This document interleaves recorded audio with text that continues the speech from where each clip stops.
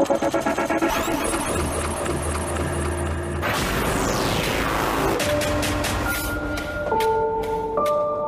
una época en la que escasean las ideas en televisión. Cuando los realities se repiten una y otra vez. Otra vez y otra vez y otra vez. Las caras son siempre las mismas. Un extraño fenómeno que se expande descontroladamente como un virus por el cual los pobladores de la República Argentina están destruyendo sus receptores televisivos. Televisores que vuelan desde las alturas y se estrellan contra el pavimento, reduciéndose a polvo. Las cadenas de electrodomésticos ya no venden Smart TVs. La tendencia ha cambiado. Los humanos ahora compran compulsivamente equipos de radio y auriculares.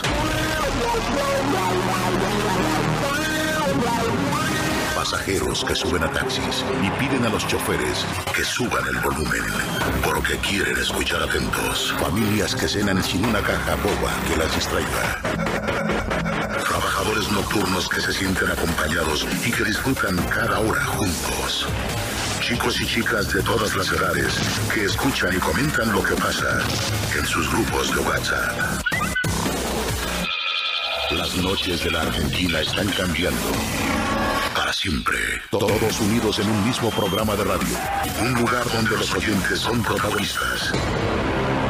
Historias de terror reales, contadas en primera persona. Bienvenidos a este viaje de ida. Esto es Noche Paranormal.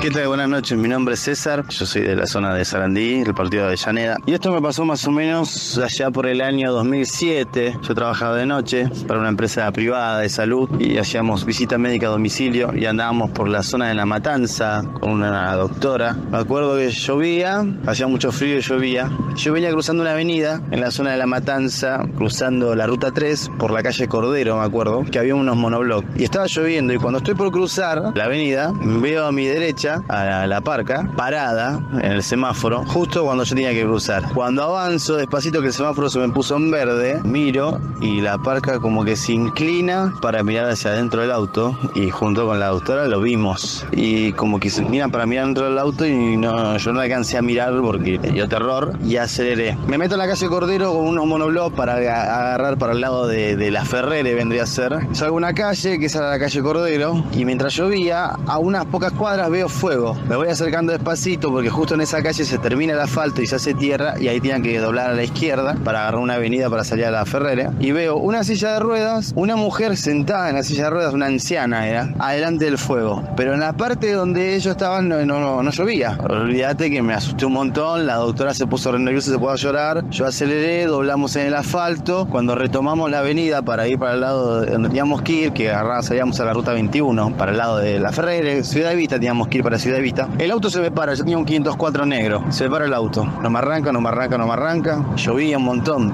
Y la doctora lloraba, lloraba. Le digo, bueno, doctora, cálmese, cálmese, cálmese. Porque se había asustado, obviamente. Yo también me había asustado, estaba muy nervioso. Dejo el auto apagado, trato de calmarla, trato de calmarme. Y me pasa un auto por mi derecha. Yo estaba detenido, obvio. Y me pasa un auto por mi derecha a los gomazos. Cuando ya el auto se pierde a los 5 minutos, viste, doy vuelta a la llave y el auto arranca como si nada. Viste, vamos despacito, teníamos que ir para el lado de, de Ciudad Vita y cuando agarramos la ruta 21 para ir para la ciudad de Vista, nos encontramos a lo lejos que se escuchaban las sirenas de los bomberos, ¿viste? Que sonaban, sonaban, sonaban los bomberos, sonaban, sonaban, sonaban. Nos pasa la autobomba y allá a lo lejos hay una parte que estaba un depósito de IPF y ahí en el depósito de IPF salía un camión de IPF y el auto que nos pasó a nosotros chocó contra el camión. En conclusión, con la doctora, la parca tenía que ver con ese accidente y como que por algún milagro el auto se nos paró porque creíamos que hubiéramos sido nosotros los que nos íbamos a estrellar contra ese camión y se estrelló esa persona. Bueno, tengan buenas noches. Mi nombre es César y esto es lo que me pasó hace muchos años.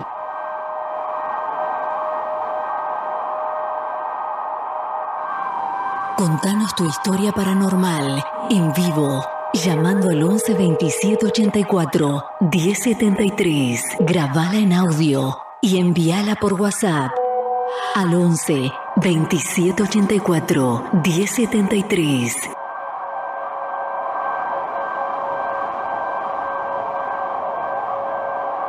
Hola Héctor, soy Sara. Recién escuché hablar a, Sara, a otra Sara, y que hablaba como viéndolo a su madre hablando con ella. Y bueno, mi historia es que mi papá murió dos meses antes de la pandemia y a mí no me avisaron y no me dijeron que había fallecido. Yo le iba a cobrar todos los meses y en esos días no podía cobrarle su jubilación. Entonces, haciendo trámites, averiguando, me enteré que había fallecido y nosotros no estamos tan lejos. Mis hermanos me lo negaron, digamos, en ningún momento me dijeron, sí, papá falleció. Y ya son cuatro o cinco veces que lo sueño, que se me presenta sentado en, el borde de la cama y me dice, búscame, búscame que me tenés que encontrar, ¿no? Y yo le digo, ¿qué haces acá? Vos estás muerto. Y él me dice, no, no estoy muerto. Y a mí me mataron. Búscame, vos tenés mis documentos, búscame que me vas a encontrar. Y yo sigo hablando con él. Entonces le digo, papá, pero ¿cómo puede ser que tú estás hablando conmigo si vos estás muerto?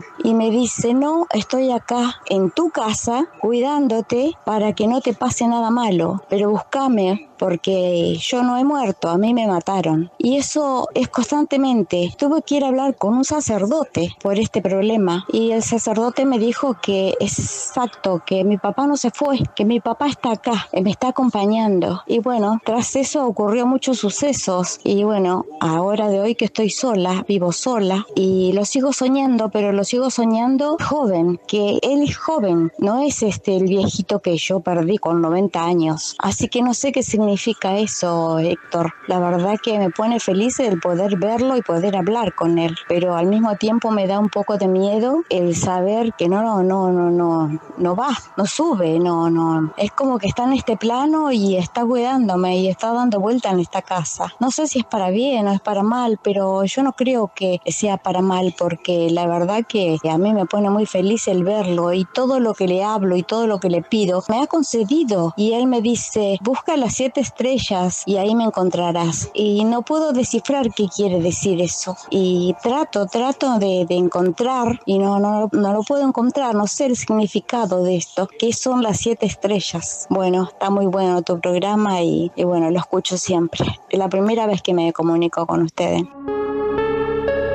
Gracias a vos por animarte primero, por contarnos tu historia y por estar en vivo con nosotros. ¿Qué tal? ¿Cómo andan? Bienvenidos y bienvenidas a las 9 de la noche con 10 minutos en la República Argentina. Acá estamos en vivo. Super noche de lunes. Se va mayo, ¿eh? 29 de mayo del 2023. Arranca el ritual.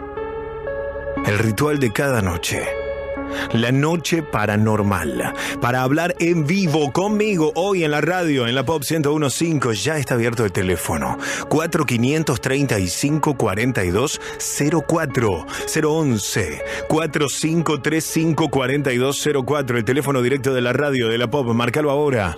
011 4535 42 04. Llámame, dame un título de tu historia y en un par de minutos te llamamos a vos. Salís al aire y relatás tu experiencia paranormal. Pero además hay un WhatsApp.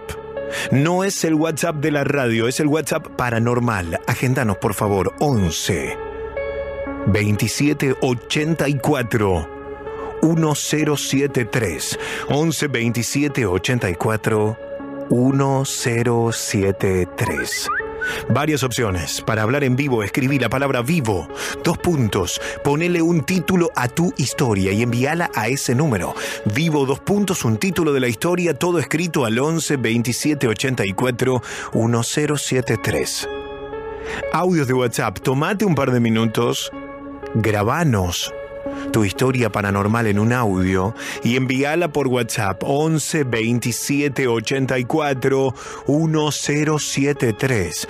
Tu historia en un audio de WhatsApp 11 27 84 1073. Pero además, podés escribir tu historia. Redactala y envíamela por WhatsApp 11 27 84 1073. Tu historia escrita hay un correo electrónico que lo abrimos como siempre. Trasnoche paranormal. arroba gmail.com. Trasnoche paranormal arroba gmail.com. Escribí tu experiencia, contanos tu historia. Puede ser historia central trasnoche paranormal arroba gmail.com. Como si todo esto fuera poco, estoy en vivo en mi cuenta de Instagram ahora, ¿eh? En arroba Héctor Locutor OK. Sumate al vivo de Instagram. Arroba Héctor Locutor OK. Ahí estoy en vivo. Si todavía no me seguís en Instagram, empieza a seguirme ahora. Arroba Héctor Locutor OK. Una vez que me seguís, arriba busca en la lupa Héctor Locutor OK, te aparece mi perfil tengo la tilde azul, seguime. Cuando me empezás a seguir, arriba al lado de mi nombre a la derecha, hay una campanita. Toca esa campana y desliza hacia la derecha activando todas las notificaciones para no perderte de nada. En mi Instagram, Héctor Locutor, ok. Susana, estás en vivo. Hola, buenas noches. Hola, buenas noches. Bienvenida, te escuchamos, escuchamos tu historia. Bueno, eh, mi historia cuenta, digamos, se trata de duendes para mí, ¿no? eh, me sucedió más o menos en el 2010, cuando mi nena tenía 11 meses, que viajamos a Jujuy con mi suegra y mi nena. En, este tiempo, bueno, ellos viven, vivían en un lote que se llama Piedritas, se llama Jujuy, que es tipo todo campo y un lote en el medio, que hay casitas. Bueno, eh, una mañana, tipo 6 de la mañana, yo me levanté a bañar y mi nena se quedó durmiendo con mi suegra y mi nena. En ese, bueno, en ese lapso de que yo me estaba bañando, se despertó mi suegra y no encontró al nene, a mi, a mi bebé. Entonces, eh, ella lo empezó a buscar por todos lados pensando que estaba conmigo en el baño, pero no estaba. Entonces empezó a buscarlo, a buscarlo. Eh, ella se sorprendió porque de la cama no bajó, porque la cama es son esas camas antiguas, altas. Y bueno, eh, detrás de la casa hay un tipo un patio que tiene un portón, una puerta pesada de hierro. Entonces ella dijo, no puede ser que haya pasado el dente abierto el portón o algo, porque aparte que no, no gateaba, nada de chiquito. Bueno, y bueno, empezó a buscar, a buscar así, debajo de la cama, por todos lados, hasta que, bueno, su última opción era buscar detrás, en el campo, que allá tienen tipo letrinas. Ay Dios, igual ya era una opción trágica, ¿no? Sí, porque ella decía, ¿cómo puede ser que se bajó de la cama? Si se bajaba de la cama se iba a golpear. Se golpeaba todo, claro. Entonces agarró, bueno, abrió la puerta. Más antes ella había me dijo que había soñado que venía su mamá, que ya falleció, a despertarla, que decía que se despierte, que, que mire el, bebé. Entonces ella se despertó en ese momento. Y ahí que empezó a buscarlo. Bueno, fue, bajó una escalera que había y fue a abrir el portón y lo escuchó llorar al fondo en el campo estaba la letrina y él estaba detrás de la letrina que es era un campo de cañaveral, porque allá es mucho cañaverales. Entonces fue corriendo, bueno, fue a buscarlo y estaba todo como si lo hubieran arrastrado. estaba todo sucio de tierra. Bueno, este, mi nene estuvo casi una semana enfermo, asustado, lo tuve que llevar en, allá, viste que queden muchos curanderos y todo eso. Sí, igual perdóname, te pongo un punto ahí y, me seguís contando, Susana. Sí. Hasta ahí la historia ya es tremenda porque algo o alguien sacó a la criatura y la llevó hasta ahí y la, tiró por ahí, digo, es extrañísimo. Sí, porque ese era el único bebé en la casa, éramos nosotras.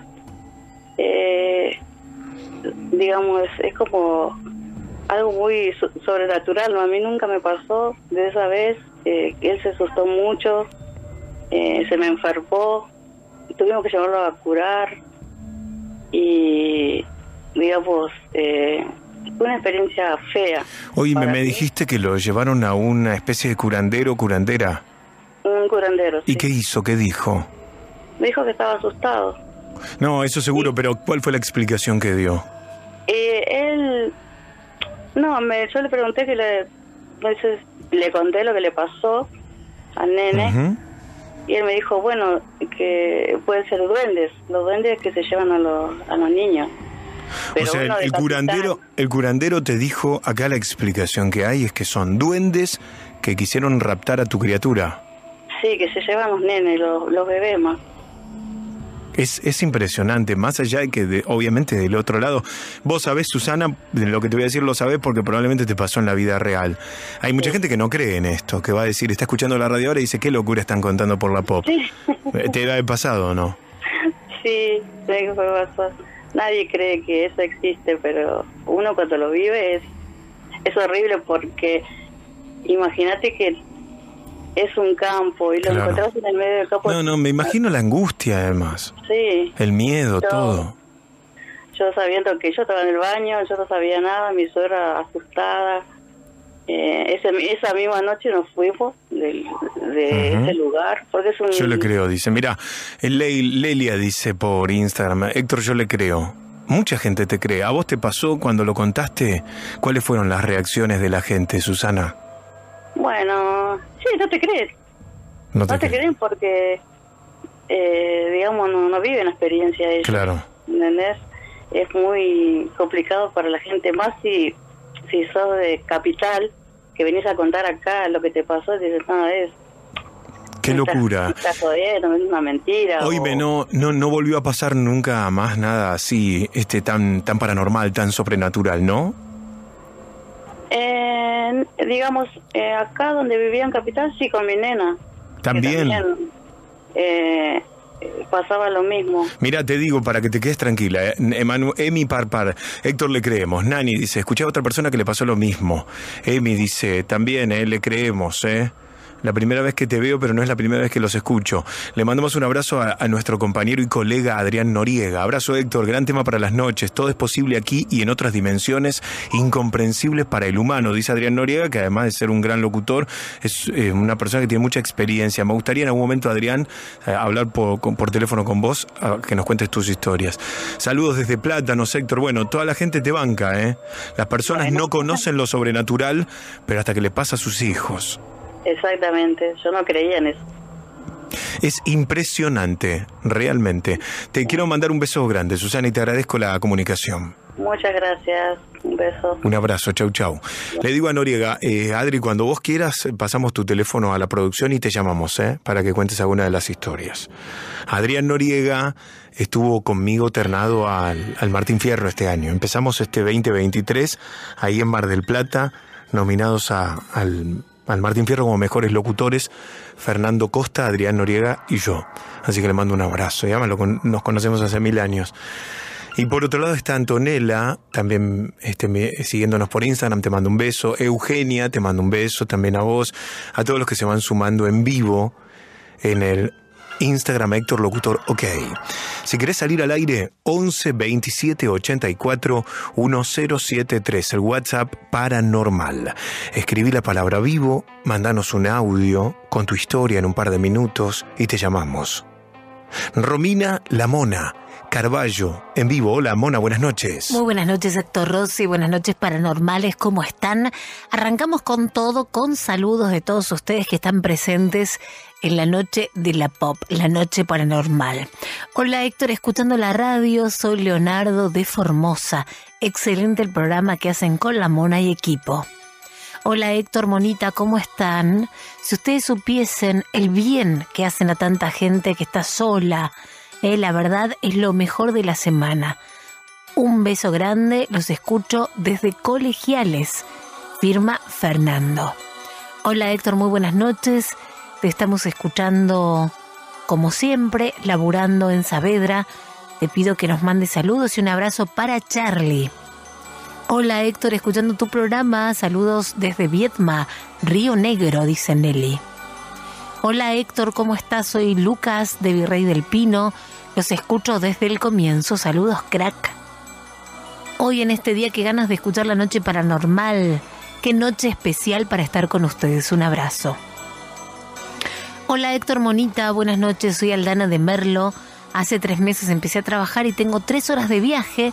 Ustedes son mi compañía. Amo las historias. Abrazos. Hola Héctor, ¿todo bien? Acá con mi pareja escuchándote y tomando unos matecitos.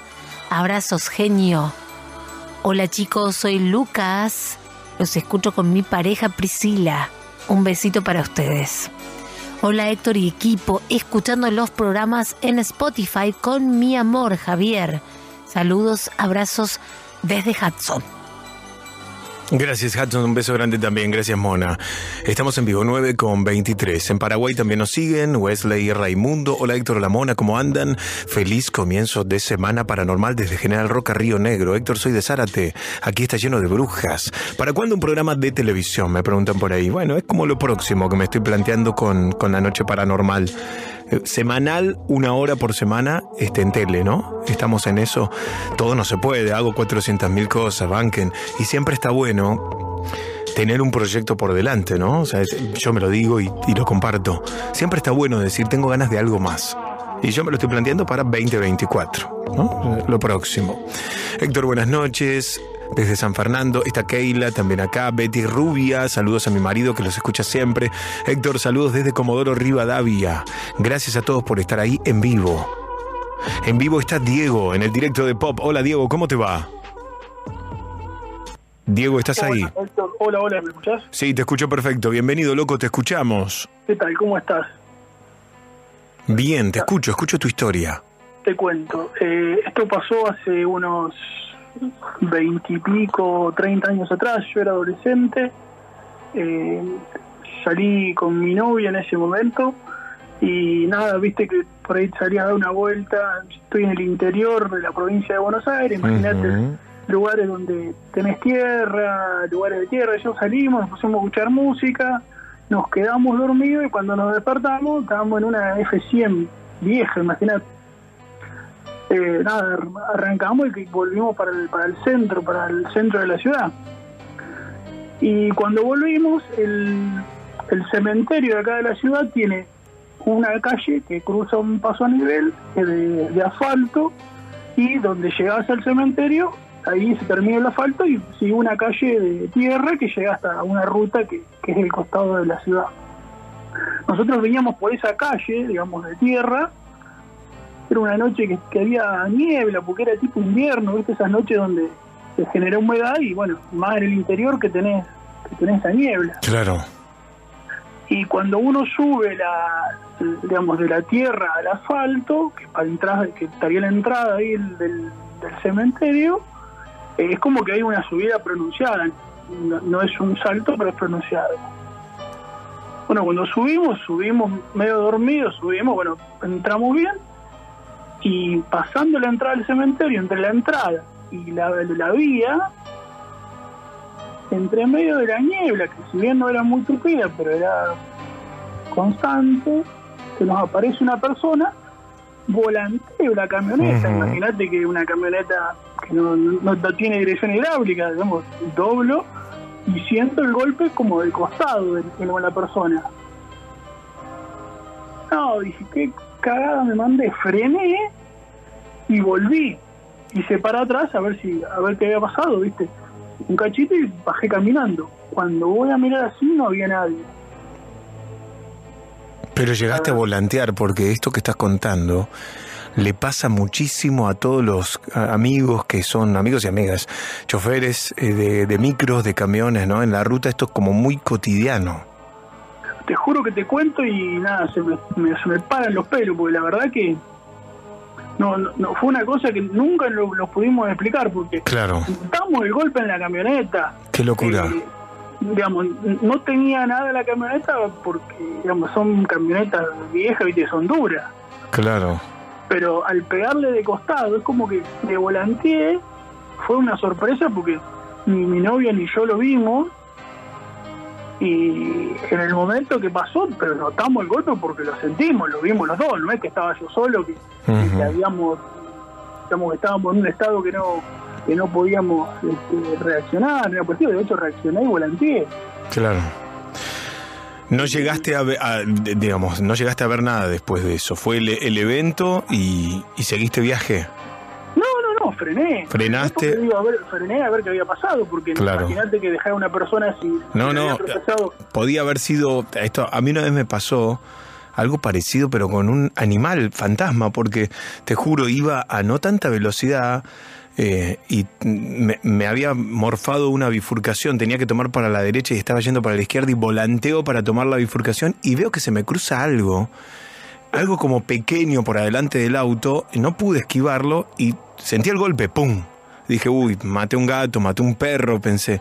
Me sentía re mal. Frené, bajé y vos es que no había nada. Nada. Era de noche, así como lo contás vos, pero con una criatura más pequeña. Esto, esto la, la figura que nosotros vimos era como un tipo, Claro. era un, era un, un hombre que estaba, si querés, eh, de, de ropa así media larga, yo no, no, no estaba bien vestido, nada, es como si fuese un tipo que, eh, que, que se hubiera un linchera, viste que a veces en, en el campo hay... Una persona que- en situación de calle, digamos. Sí, sí, acá, acá, digamos, por ahí se, se, se quedan viviendo de cerca. Pero no, no, no, no, no, no, no, la verdad que no, no, lo vimos, golpeó y cuando volvimos no estaba más. Era algo inexplicable. Tremendo, Con- loco. con mi- no, no, pero en ese momento fuimos, creo que llegamos al centro y no, no, no, no, pudimos hablar y fue, un- fue una, una situación muy, muy complicada y, y, digamos, siempre han pasado cosas raras por ahí, hubo accidentes de víctimas fatales donde vos no te imaginás que puede haber un accidente, hubo víctimas ahí, es como es como un lugar, imagínate una calle de, dos manos, una calle chica, Claro. No está en el centro de la ciudad, está a, la- a las afueras de la ciudad, con más razón, ¿viste? Y está entre la vía y esa, digamos, y la entrada, lo que fue esto. Gracias, querido Diego. Gracias por tu relato. No, gracias a vos. Te mando un gran abrazo. Un abrazo, Héctor, muy bueno de tuyo. Gracias, hasta la próxima. Casi las nueve y media en la noche de la República Argentina. Héctor Mona, muy buenas noches. Soy Alejandro de Tucumán. Hace un par de semanas encontré tu programa y me encanta. Quería contarte que hace unos años yo compartía un departamento con mi prima. La cosa que un día mi tía, la madre de mi prima, fue a visitarnos y se quedó a dormir. Esa noche yo soñé que estaba en mi cama y un ente se subía arriba mío, cosa que se sentía muy real, porque pude sentir el peso de su cuerpo que oprimía al mío y no me permitía mover o gritar. En el sueño ese ser estaba succionando mi espíritu o mi alma. Después de un momento luchando e intentando rezar, logré vencer al ente en sueños y le arrebaté su espíritu. Pero cuando me desperté, tenía mis manos extendidas sujetando algo como en el sueño y podía sentir el dolor en mi cuerpo por la lucha, como si en verdad hubiera pasado. Fue entonces que comencé a rezar en susurros, ya que el ambiente se sentía pesado y depresivo. Pero fue entonces que otro susurro llamó mi atención. Y ahí me di cuenta que mi prima estaba en la cama del lado mío, rezando, rezaba mientras lloraba, dormíamos en la misma cama esa noche. Le pregunté qué pasaba. Entonces me contó que soñó con un ente que la ahorcaba y que ella no podía defenderse. Horas más tarde, le contamos a mi tía lo que nos pasó y ella nos dijo que podría ser por causa de que ella estaba muy deprimida y negativa, que esa energía pudo haber viajado con ella, por lo que esa energía o ente negativo podría haber entrado con ella a esa casa durante ese tiempo. La historia es real y para nosotros también es paranormal. ¿Tenés audios de la gente, Mauro? Le digo a Campañolo, 11 27 84 1073. Hola Héctor, buenas noches, soy Carlos de Corriente, te cuento lo que me pasó. Yo trabajaba en emergencia mecánica en la noche y siempre a partir de las 2 de la mañana se escuchaba que caían todas las herramientas, que abrían y cerraban las puertas de los autos que estaban estacionados. Hasta que una mañana, una noche, yo estando revisando el aceite del camión, se me aparece el muerto, le veo en un rincón, se me aparece. Y esa es mi historia. Muy buena la radio, Héctor.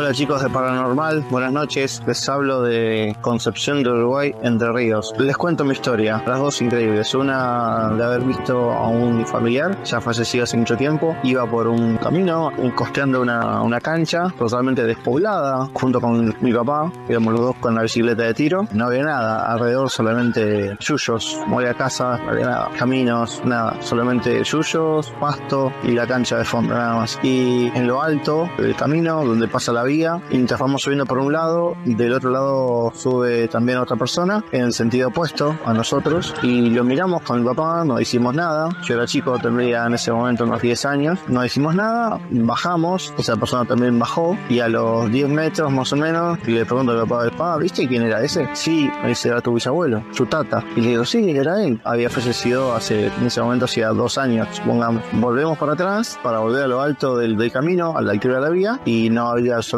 nadie. Si alguien hubiese andado ahí, lo tendríamos que haber visto porque no se podría haber perdido tan rápido. No había casas, no había otros caminos, no, no había forma. Era solamente él. Qué locura la cantidad de historias que me están llegando, loco. Este programa está en su mejor momento. Chris dice, Héctor, estoy en plenas vacaciones escuchándote en el hotel. Infaltable el programa paranormal. Antonel Salvatore, en mi viaje a Italia me pasó todas las noches que estuve, dice, no pude dormir. Sentía una presencia oscura acechándome. Seguro le pasó en un hotel. En los hoteles. ¿Nunca les pasó que entran en una habitación de hotel y dicen, loco, ¿qué pasó acá? ¿Quién estuvo acá? Cambiame de habitación. Cuando estuve en Mar del Plata, ahora que fui a lo del Martín Fierro, me cambié no solamente de, habitación, me cambié de hotel. Había sacado reserva en un hotel, llegué, entré a la habitación y me quería morir de la mala onda que sentía. Le digo al chabón, oye, me, necesito cambiarme. De, de habitación no, necesito irme. Y me fui del hotel. Te juro, perdí una noche, pero no podía dormir ahí. No podía. Una pregunta que les lanzo al aire para que opinen. Eh, atentos a los que manden al WhatsApp 11 27 84 1073. ¿Vieron el, el pastor este rompiendo las imágenes de, de- del gauchito? Bueno, eh, no voy a decir nada. Opinen, por favor. Quiero escuchar tu opinión de eso. En el relato, en la narración, en el discurso del tipo era, esto no es, esto no es Dios, esto no es de Dios, esto es del diablo rompiendo un par de, imágenes. Tengo razones bíblicas, decía. 11 27 84 1073. Ahí los recibimos en vivo. La historia central estreno de hoy es tremenda. Llegó por correo electrónico a trasnocheparanormal.gmail.com. Es muy fuerte la historia de hoy creo que va a entrar en el podio de las mejores historias de la noche paranormal en esta década al aire. Es una historia real, obvio como siempre, pero tiene un desenlace totalmente inesperado de película. Yo les propongo que suban el volumen porque este es un adelanto. Esta es la historia real de Yo sé lo que pasa cuando te morís. En primera persona. Era una mañana cualquiera de otoño, 18 de abril de 2005. Había estado en cama un par de semanas por una gripe fuerte y me sentía bastante culpable por no haber podido salir a correr como lo hacía diariamente. Recuerdo que me puse la vestimenta deportiva, que aún conservaba el perfume del lavadero. Me calcé los auriculares. Si bien recuerdo que para esa época ya se usaban los audífonos pequeños, esos que van adentro de la oreja, yo siempre fui un amante de la vincha sonora. Esos que usábamos con los Walkman, los que fuimos adolescentes en los años 80. Salí de casa bajando las escaleras de mármol del PH hermoso en el que vivía, por Recoleta. Cerré la puerta de madera y empecé a trotar. No puedo recordar con exactitud cuál fue el primer síntoma, pero mientras corría, empecé a sentir una puntada justo en medio de la frente. Dolía, pero no tanto como para dejar de correr. Me dije a mí mismo que seguramente estaba fuera de training por los días que había pasado en cama, así que aceleré el paso y empecé a correr. La música retumbaba en mis oídos, como si estuviera escuchando, sumergido en el agua. La gente a mi alrededor empezó a moverse más lentamente y yo sentí un frío helado en todo mi cuerpo. Transpiraba, pero mi sudor estaba casi congelado. Mi visión comenzó a fallar. Todo estaba borroso. Así todo seguí corriendo. Hasta que en un determinado momento mis pies ya no respondieron y cuando quise pisar mi tobillo derecho se torció y todo mi cuerpo se derrumbó como las torres gemelas en aquel fatídico 11 de septiembre. Caí y sentí el golpe. Aunque intenté poner mis manos para amortiguar la caída, mi cerebro envió la orden, pero mis brazos no respondieron. Entiendo yo que ya estaba desconectándome de este plano físico. Mi cabeza golpeó el asfalto y lo último que vieron mis ojos físicos fue el auricular vincha volando y cayendo a un par de metros, en medio de la calle Pacheco de Melo, justo antes de que les pasara por encima la rueda de un taxi. Para Mauro, solo adelanto.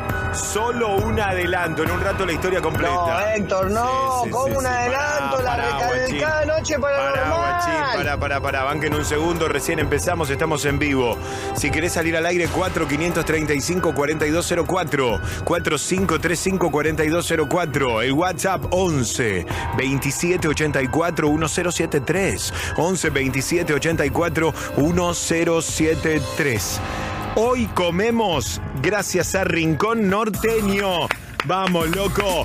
Cocina auténtica, artesanal, originaria del norte de nuestro país. En la actualidad, reconocidos por las empanadas que por su delicioso sabor y considerable tamaño se diferencian y los posicionan en el mercado. Encontralos en todos estos barrios: Almagro, Barracas, Belgrano, Boedo, Caballito, Canin, Canitas, Colegiales, Flores, Floresta, Mataderos, Monte Castro, Monte Grande, Núñez, Palermo, Parque Patricio, Paternal, Recoleta, San Cristóbal, Saltermo, Villa Crespo, Villa del Parque, Villa Devoto, Villa Lugano, Villa Luro, Villa Pueyrredón y Villa Urquiza. En Instagram, arroba Rincón Norte No. Arroba Rincón Norte No. Pidan, tienen un link ahí en el Instagram, pueden hacer su pedido ahora gracias al Cuervo de Rincón Norteño. Sos un fenómeno, Cuervo querido. Chicos, eh, se quedan con nosotros, estamos en vivo. Está Mauro Campañolo en la puesta al aire de Pop Radio. Macarena Ruiz Guiñazú en la producción. Iván Cano en la producción. Romina Carballo conmigo. Rodrigo Blanco en la edición. Hoy vino Azul Birenbaum, vino, vino un montón de gente. Está mm, también Cintia Barros Ortiz. Todos vienen a comer las empanadas de Rincón Norteño, ¿eh? Bueno, estamos todos. Alejandro Persia, Javier Fábregas en la coordinación de la radio y Sebastián Pedrón que dirige la pop. Yo soy Héctor Rossi. Hasta las 12 de la noche, la noche paranormal. Una historia tras de otra. Un relato más escalofriante que el anterior. Este es tu ritual radiofónico de todas las noches. Hasta la medianoche. Escuchas La Noche Paranormal. Hasta la medianoche. Escuchas a Héctor Rossi en 1015. La Pop. Voy con Julieta, que está en vivo. Hola Julieta, ¿cómo te va? Todo bien, ¿y vos, Héctor? Bien, bienvenida. ¿De dónde sos? Vivo en Boedo y te escucho hace fácil siete años. Ah, bueno, somos vecinos, porque yo también vivo en Boedo. ¿En serio? Sí. Eh, Estamos cerquita, no, seguramente no, alguna vez me vas a, nos habremos cruzado. ¿Y hace siete años que nos escuchás? hace siete años los escuchaba en la radio Ajá. y, y bueno, después los empecé a escuchar en Spotify porque a veces, bueno, no los podía escuchar en vivo, así que bueno, y hoy te encontré acá. Bueno, acá estamos hablando. Contame, no sé si me vas a contar alguna historia paranormal, algo que te haya pasado. Sí, mira, te cuento. Yo estoy estudiando instrumentación quirúrgica y estoy haciendo guardias en el hospital militar. Bueno, te cuento que eh, hace una semana aproximadamente estaba en quirófano, estábamos eh, todos adentro de un quirófano, en la guardia no somos tantas personas, y eh, yo estaba circulando la cirugía, es decir, que estaba eh, ayudando y llevaba cosas de afuera del quirófano Ajá. adentro del quirófano.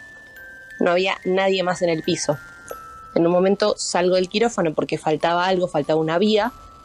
Cuando la voy a buscar, estoy en farmacia y me empiezan a, a golpear desesperadamente la puerta de la farmacia donde yo fui a buscar eso. Sí. Yo pensando que era una compañera que me estaba haciendo un chiste, me doy vuelta y le digo, dale, no seas boba, no sé qué. Vuelvo al quirófano y la veo a ella ahí. Y después empecé a preguntarles a todos si alguno me había hecho un chiste, si alguno... Y bueno, nada, las chicas de planta me comentaron que no, que es algo que está, que sucede eh, y que bueno, que no me preocupara porque era algo que sucedía seguido, pero que bueno, era algo inofensivo aparentemente. Claro, en, en el hospital ocurre, siempre ahí. Exactamente, en el militar. En el militar. Oye, ¿me te puedo preguntar algo a vos? Digo, porque ser instrumentadora quirúrgica, entiendo que por tu laburo estás cerca de momentos decisivos entre la vida y la muerte, ¿no? Eh, Sí, total. ¿Te tocó en algún momento presenciar a alguien que muera?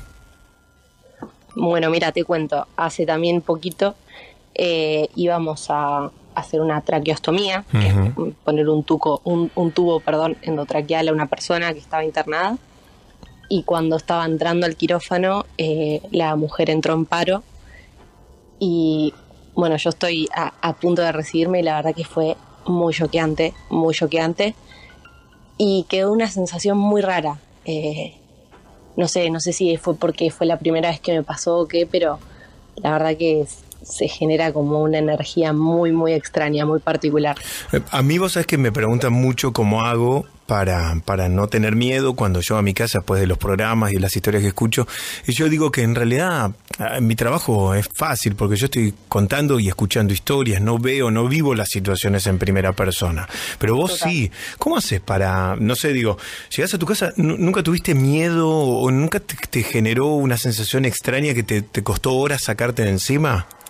Sí, sí, ni hablar. De hecho, eh, me pasa mucho que desde que empecé eh, a ir al hospital y demás, em, me pasa que me despierto a la noche y siento que hay presencias. ¿En tu casa? eh, me pasa, me repasa y digo, yo no sé si es que estoy soñando, estoy medio dormida, o sea, como que no logro como diferenciar eso, ¿entendés? Como si de la, la realidad de si quizás estoy soñando, porque es muy, muy loco, pero eh, me está pasando. Sí, la verdad que sí, es muy loco.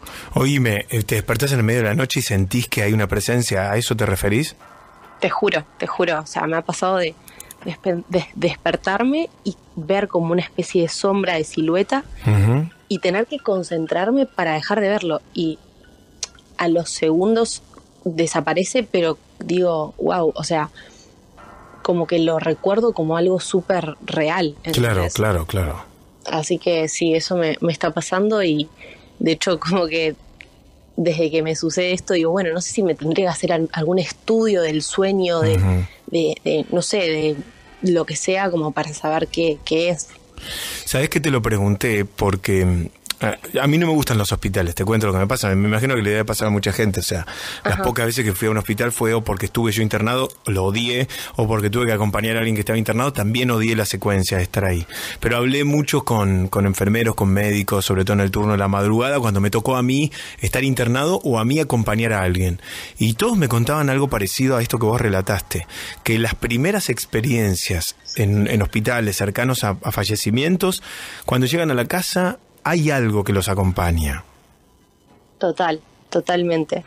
Yo creo que también es, quizás no sé si es alguien, sino como una energía por ahí que uno ab- absorbe de esas situaciones. Eh, pero sí, es, es fuerte, es fuerte Héctor y, y yo creo que es hasta que, te hasta que te acostumbras, pero bueno, no sé si te terminas de acostumbrar tampoco. Claro. Oye, me te pregunto algo más. ¿Y qué creencia tenés en, en, no sé, crees que hay un Dios? ¿Crees que hay una alguna fuerza creadora, algo así? Em, como te decía, creo mucho en las energías. Eh, de todas maneras, también creo que eh, esto que te decía antes de, de sentir las presencias y, y- y demás, yo creo que, que muchas personas no, no logran poder irse del todo y hay algo de ellos que queda. Eh, y sí, la verdad que creo en eso, creo mucho, eh, más como te digo, habiendo vivido esto de que de, de estar tan cerca quizás de la muerte y, y sentir como en el ambiente se queda algo raro, la verdad que sí. Eh, pero no sé si creo en- en un Dios, eh, sí, como te digo, en, en el universo, en las energías y, y que hay algo más allá. Pero bueno, no sé decirte qué. Claro. Eso me pasa. Claro. Che, te hago la última. ¿Y alguno de tus compañeros de- del hospital, del, del- del- digamos, en, en la carrera también que vas llevando adelante, te contó historias paranormales de hospital? Bueno, cuando yo comenté esta situación que me pasó en el quirófano, eh, se lo comenté a una de las chicas de planta que está hace como más de 10 años eh, trabajando ahí. Y bueno, ella me comentó que, que muchas veces, ella se llama Rocío, le pasó que estaba en el estar médico eh, esperando por si llegaba algún paciente de guardia y que de repente escuchaba que la llamaban Rocío, la llaman de un quirófano. Y ella salía corriendo y a mitad del pasillo dice, pero no hay nadie. Claro. O sea, ¿quién me está llamando? o mismo que también se escucha que eh, las camillas, las ruedas de las camillas y no hay nadie. Eh, sí, sí, o sea, to- todos ahí le- les, les ha pasado de tener alguna situación así, así que eh, sí, es como decís vos, todos los que, los que están eh, en hospitales y, y demás, yo creo que, que tienen alguna experiencia así como esta. Che, un gusto conocerte. Te mando un beso, vecina. Gracias por contar tu historia. Seguí así, te rebanco. Gracias, un beso. Chau, chau. Espero volver a hablar pronto. Dale, dale, dale. Estemos en contacto. Un beso grande. Chau. Chau.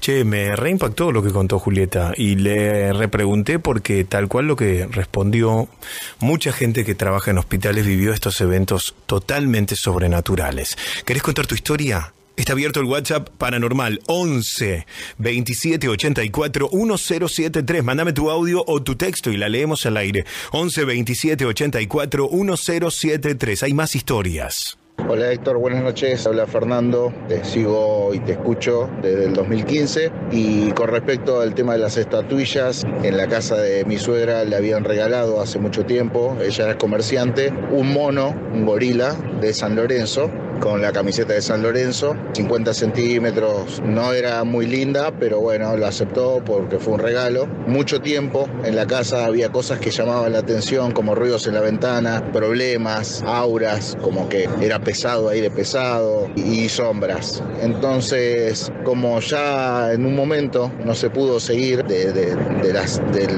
clima que había dentro de la casa, vino una monjita a limpiar la casa y la monjita cuando vio el mono dijo que era muy malo, que ese mono no era normal, era un gorila y que lo rompiera. Entonces desde el primer piso lo arrojó al patio y cuando lo arrojó se reventó todo porque era de yeso, pero la cara nunca se rompió, la cara quedó intacta.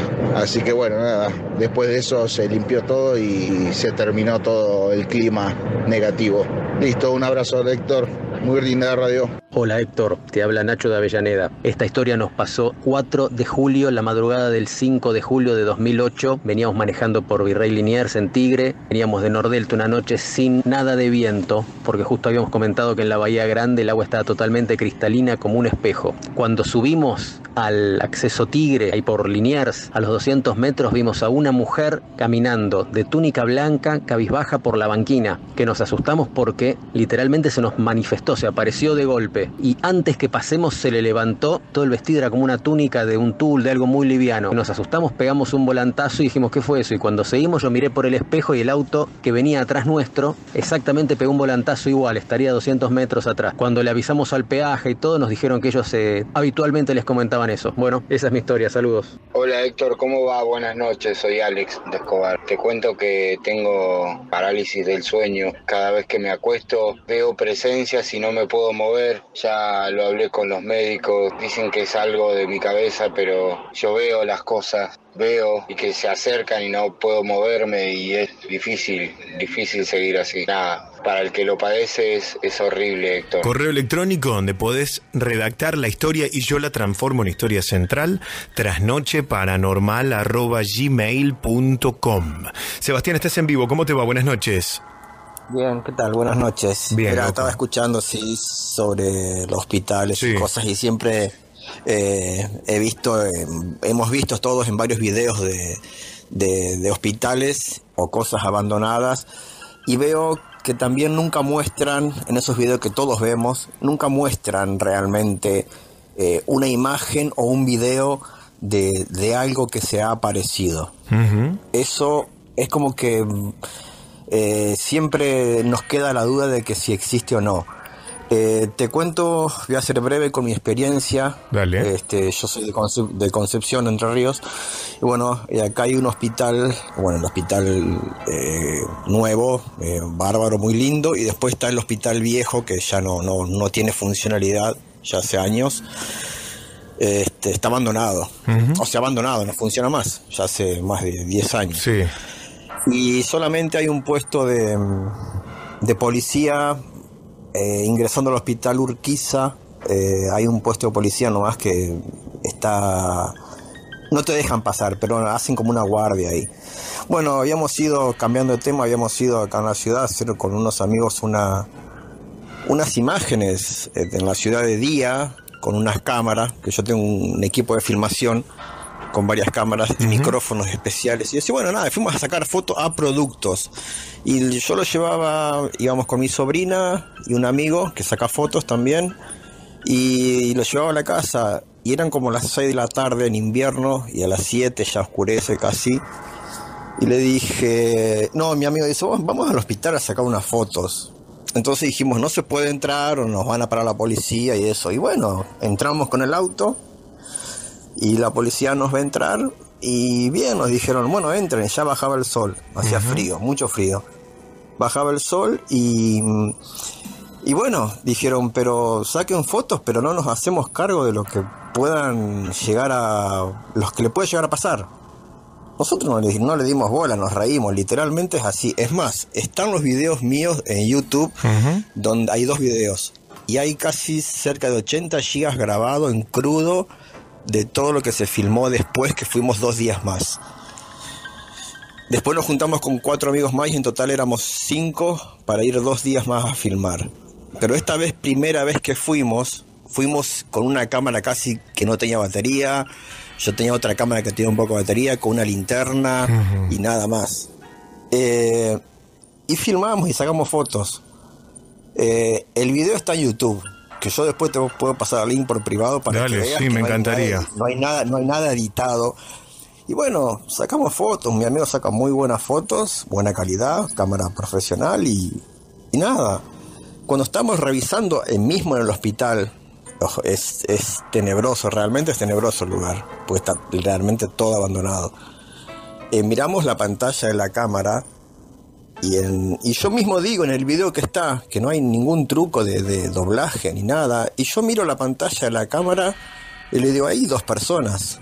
Literalmente saco una foto, una puerta que daba a un cerca a la morgue y se ven dos personas que se asomaron eh, detrás de la puerta eh, cuando mi amigo disparó la cámara, disparó el flash. Y de esas fotos, hay de, yo debo tener en la computadora guardada como 10 fotos.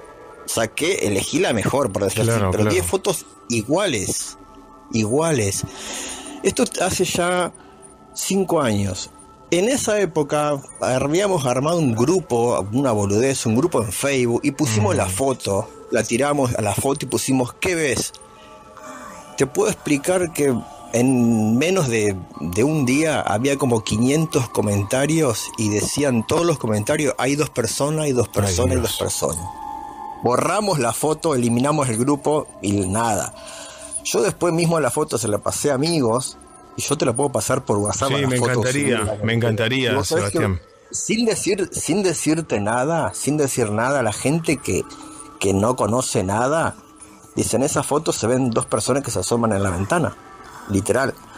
Y todo eso está registrado. Y en el, y en los videos que después vimos, que están filmados, yo tengo un micrófono, un, por ahí vos sabes de, de- de audio, vos sos locutor, marca Zoom. Sí. Son micrófonos Zoom que tienen muy buena calidad Sí, de sí. alcance sonora. Tengo un micrófono Zoom y una segunda noche que fuimos, que ya fuimos, nos animamos y fuimos de noche. Yo tengo un dron y bueno, filmamos con dron y, y después con otras cámaras, porque queríamos hacer un corto. A todo esto, perdón, fuimos a seguir grabando porque queríamos hacer un corto, ¿no? Para presentar. No pudimos hacerlo porque no nos animamos, no le encontramos el final a la historia y claro. resultó que quedó, quedó todo en crudo y quedó la nada. Pero todo el material en crudo está. Cuando yo coloqué un micrófono cerca de la morgue, en el piso, con un trípode chiquito, lo dejé prendido y nos fuimos a filmar otras partes con una linterna y bueno, más o menos a, a armar una con un guion mínimo que un amigo nos armó muy Sí. bueno. Pero nunca pudimos darle un cierre, literalmente un cierre a esa historia que duraba tres minutos, dos minutos y medio. Era un muy corto, muy chiquito. Cuando yo llego a mi casa y es más, miento, miento, no quisimos eh, hacer nada en mi casa, en mi departamento. Alquilamos una cabaña acá en la ciudad, muy bien, nos juntamos eh, los cinco amigos para no tener ningún lugar, por decirlo así, este, ¿cómo decirlo? No manchado, ningún lugar eh, contaminado de, de, todo lo que íbamos a ver. Bueno, llevé mi computadora, todo, y, y las cosas y los audios que escuchamos realmente son, eh, son reales. Yo no me animé y no quise publicar más nada. Me ha contactado mucha gente en ese momento por privado, enfermeras que han trabajado en ese hospital que han querido hablar conmigo y todo. A ver, yo creo, nosotros vimos todo eso, lo vimos, está todo grabado, está filmado. Eh, se escuchan muchas voces, muchísimas voces, voces de, de nenes llorando, se escucha muchísimo y con una claridad de un micrófono marca Zoom que es realmente eh, asombroso. Y todo eso está documentado. A lo que iba que mm, es como que pasó un tiempo que nosotros, a ver, dormíamos bien, pero sí, nos sugestionamos mucho claro. como, como principio y quisimos cortar con eso y no seguimos más nada. Por respeto a la salud que, escuchábamos, pero no hicimos nada. Gracias. Gracias, Sebastián, por contarlo. Eso quedó ahí. Pero te voy a pasar el link por privado. Dale, me encantaría. Para que veas el video Dale. y la foto. ¿eh? Gracias, loco. Gracias, Héctor. Saludos. Un abrazo grande. Bueno, que manden material, por favor, y lo compartimos, porque nos interesaría también ponerlo al aire. 11 27 84 1073. Ahí estamos en vivo en este programa. La noche La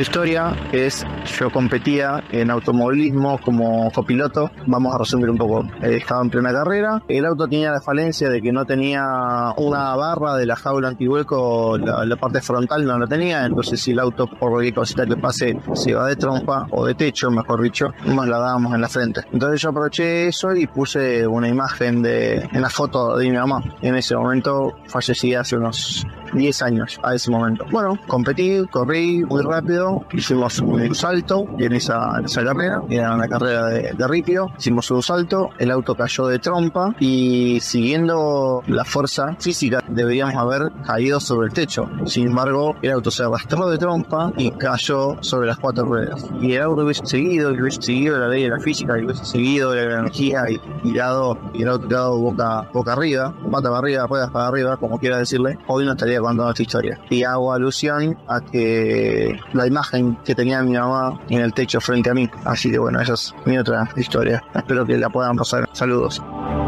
11 27 84 10 73 Hola Héctor, ¿cómo andás? Mi nombre es Roy, soy de Palermo. Quería contar una historia paranormal que pasa muy seguido en la casa de mi tía, en unos departamentos en Villa Lugano. Me quedé a dormir unos días ahí en la casa de, mi tía. Mi primo se había ido a trabajar, así que me quedaba yo solo por la noche. Así que medio entre dormido, siento que se abre la puerta de la habitación donde dormía con mi primo en camas separadas y teníamos una computadora con la silla, bueno, con todo lo que lleva a tener una computadora y el mueble. Así que medio entre dormido siento que entra mi primo o eso creí yo y nada, se corre la silla que tiene rueditas, se siente que se corre la silla, saca el teclado también, siento que empiezan a teclear. Y como a mi primo le gustaba jugar muchos eh, juegos online, yo entré dormido, le digo a mi primo que se vaya a acostar, que me deje de dormir, que mañana me tenía que levantar a, a trabajar temprano. Así que seguí sintiendo que estaban tecleando la computadora y nada, le volví a decir exactamente lo mismo y como no me contestaba nada y seguía tecleando, en un momento me levanto, prendo la luz y no había nadie. Así que nada, no sentí mucho miedo, así que me levanté y me fui para el departamento de mi abuelo que vivían para aquel entonces arriba. Yo estaba abajo, así que me fui para arriba y le pregunté a mis tíos si había venido Ezequiel o algo, Ezequiel mi primo, y me dijeron que no. Así que nada, bueno, esa es mi historia paranormal de que me pasó, entre otras, tengo muchas, pero bueno, esta es una de las que me acuerdo mucho. Saludos.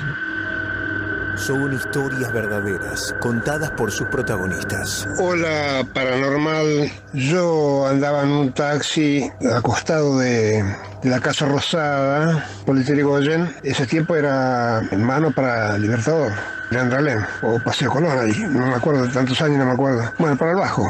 Y bueno, en una, una cuadra, 100 metros, adoquinado, de una gran bajada y estaba el piso mojado, había mucha niebla, mucha humedad, estaba totalmente mojado. Y entré, iba vacío yo solo, y entré un poquito más fuerte, de, pero poca cosa más fuerte de lo que correspondía. Y eh, el 504 pesado, quise pararlo y no podía pararlo más. Ponía en segunda, este, tocaba el freno muy suavemente y lo, lo peinaba y se iba, no había forma de pararlo. Y el tránsito estaba esperando semáforo abajo. Pocos autos había, pero había autos. Y era inevitable el, el choque de, de- trompa con, la- culata de ellos porque el, y encima el 504 es muy pesado. Y no, no, no había caso de pararlo, no había forma. Ensayaba todo y el, auto se iba contra los autos parados. Y de última, y ya estando muy cerca, no me queda otra que apreté con todo el freno. Y digo, no, no, no queda otra opción. Volar no puedo. Y apreté con todo y bueno, que, sea lo que Dios quiera, y voy a ir igual, me voy a chocar igual. Y paro el auto. Es increíble porque en ese caso este, es peor todavía cuando se frena de golpe, estando mojado al piso y en bajada. El auto paró y yo no puedo creer, para mí es un paranormal. Gracias querido, a las 10 de la noche y 7 minutos en la República Argentina. Para hablar con nosotros, para salir al aire, 4 535 42 04 011 4535 42 04. Estamos en vivo en la Pop 1015. Podés escucharnos en www.radiopop.fm. En el canal de YouTube de Pop Radio también estamos en vivo, Pop Radio 1015. Te bajas gratis la app de Pop Radio en App Store o Google Play. Este programa y todos los programas de la noche paranormal yo los subo a mi canal de YouTube que es arroba trasnoche paranormal. Suscríbete gratis, arroba trasnoche paranormal. Suscríbete al canal de YouTube para hacer maratón de las historias centrales, maratón de los programas completos. YouTube arroba trasnoche paranormal. Está Tito en vivo. Hola Tito, ¿cómo te va? Buenas noches. Hola, Víctor, buenas noches. Bienvenido. A toda la radio. Gracias por estar ahí, te escuchamos. Bueno, te cuento, esta lo- va, es lo que me pasó, ¿no? Me pasó del año en el 2006. Me pasó el 2006 del 6 del 6. Eh, yo vivo acá en, bueno, en Pedemonte Agustín y camino Donato Álvarez, digo, y tenemos la, eh, ¿cómo se llama? La, la tosquera de Bernal. Que pasaron muchas cosas, muchas muertes, mucho todo. Bueno, una mañana me iba al colegio, hago cinco cuadras y llegando a una esquina eh, me cruzo con un- una persona alta, toda vestida de negro y con sombrero negro. Cuando lo cruzo, esta persona mirando hacia la tosquera me dice, quiero fumar, tengo ganas de fumar. Y yo le digo, bueno, acá a media cuadra hay un kiosco, le digo, te voy a comprar cigarrillo. Esta persona saca 20 pesos de los viejos que tenían como una flor, eh, la mitad rojo y la mitad azul, los 20 pesos viejos y me lo da. Y yo lo quedo mirando y le digo, le digo, esta plata está como saliendo de circulación, iban a salir los 20 pesos nuevos. Y bueno, me voy. Me voy a comprar el cigarrillo y a mitad del camino digo, uy, qué boludo, digo. No le pregunté qué marca de cigarrillo fuma. Claro, claro. Cuando me doy vuelta, no estaba más. ¿Había desaparecido? Desapareció. Bueno, digo, voy hasta la esquina y lo busco. Llego a la esquina, miro para todos lados, no estaba. Bueno, yo digo, bueno, me quedaron los 20 pesos para el colegio, para ir al kiosco y, y gastar todo. Y podés creer que meto la mano en el bolsillo y desaparecieron los 20 pesos también. Uy, Dios. Ya desapare- ¿El billete que te había dado se desmaterializó? Sí, sí, desapareció del bolsillo, no lo tenía más. Qué impresión Entonces lo que contás. Sí, entonces lo que agarro yo hago tres cuadras más, eh, yendo para la casa de un compañero y le golpeo la puerta, le golpeo la ventana, todo, gritando que nos pareció el diablo. Para mí después caí que era el diablo. Que interactuaste con el diablo, decís vos. Sí, o no sé lo que era, pero si era el diablo, pero Una entidad que no era de este mundo. claro, porque estaba todo vestido de negro, sombrero negro, y yo, o sea, lo veía, pero no le veía la cara. Claro. o sea, lo veía de la nariz como para abajo nomás. Y bueno, y ese día estuve todo el día asustado, pero bueno, y le- o sea, la impresión de que tener la plata en tu mano y ponerla en el No. bolsillo que después desaparezca, Sí, me imagino cómo te sentiste y cómo te sentís. Gracias por contarlo, te mando un gran abrazo. gracias Héctor, un abrazo. Gracias. Para hablar con nosotros, 4535-4204. Llamame, es el teléfono directo de la POP. 4535-4204. Tengo un WhatsApp que es el 11 2784 1073.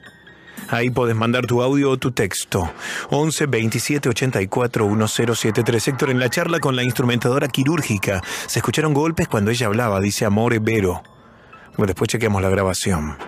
Estoy en vivo en TikTok ahora, ¿eh?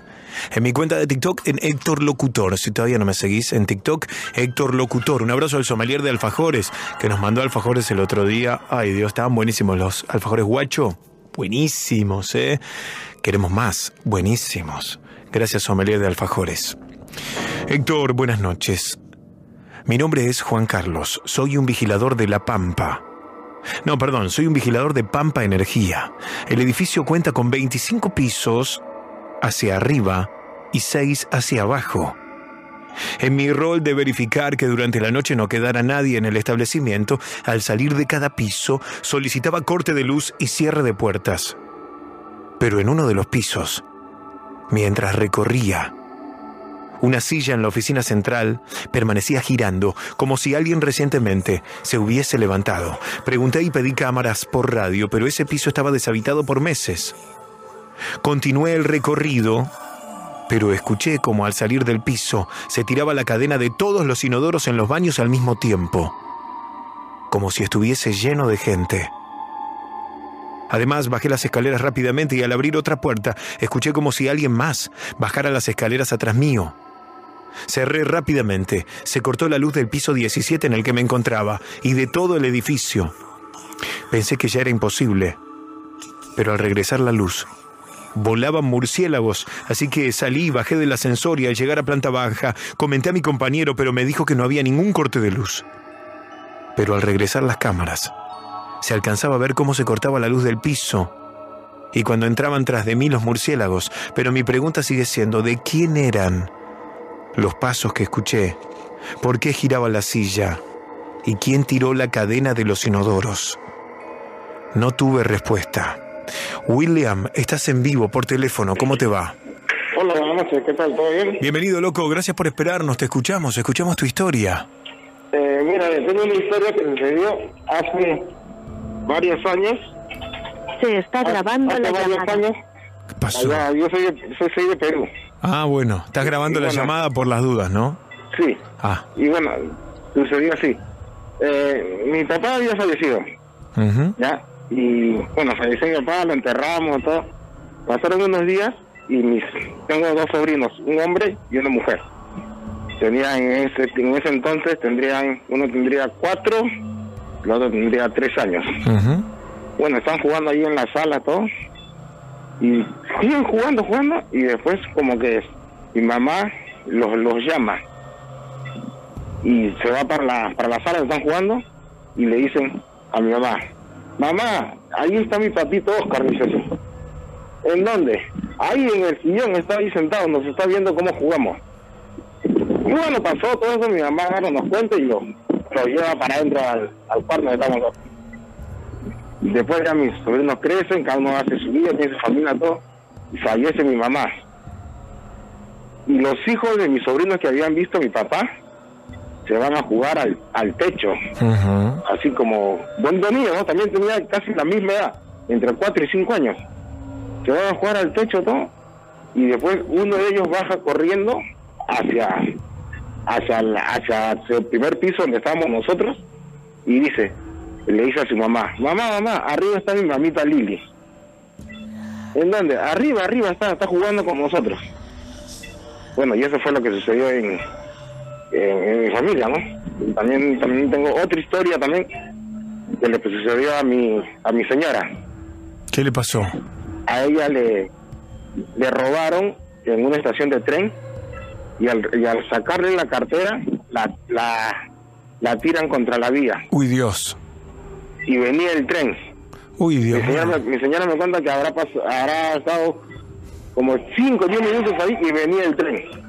Y después de un momento a otro se acerca un señor grande, ya un, un anciano, y la, la ayuda a levantarse y la ayuda a poner al costado de la vía del tren. Y cuando mi señora voltea para, para agradecerle al señor, el señor desapareció, ya no estaba. Un ángel. No sé, claro, habrá sido, y eso es lo que yo le digo, ha sido un ángel que en ese O sea, estamos momento hablando, perdóname, le salvó la vida. le salvó la vida. Porque si ese señor, ese ángel, como le digo yo, no aparecía, el tren se la llevaba puesta.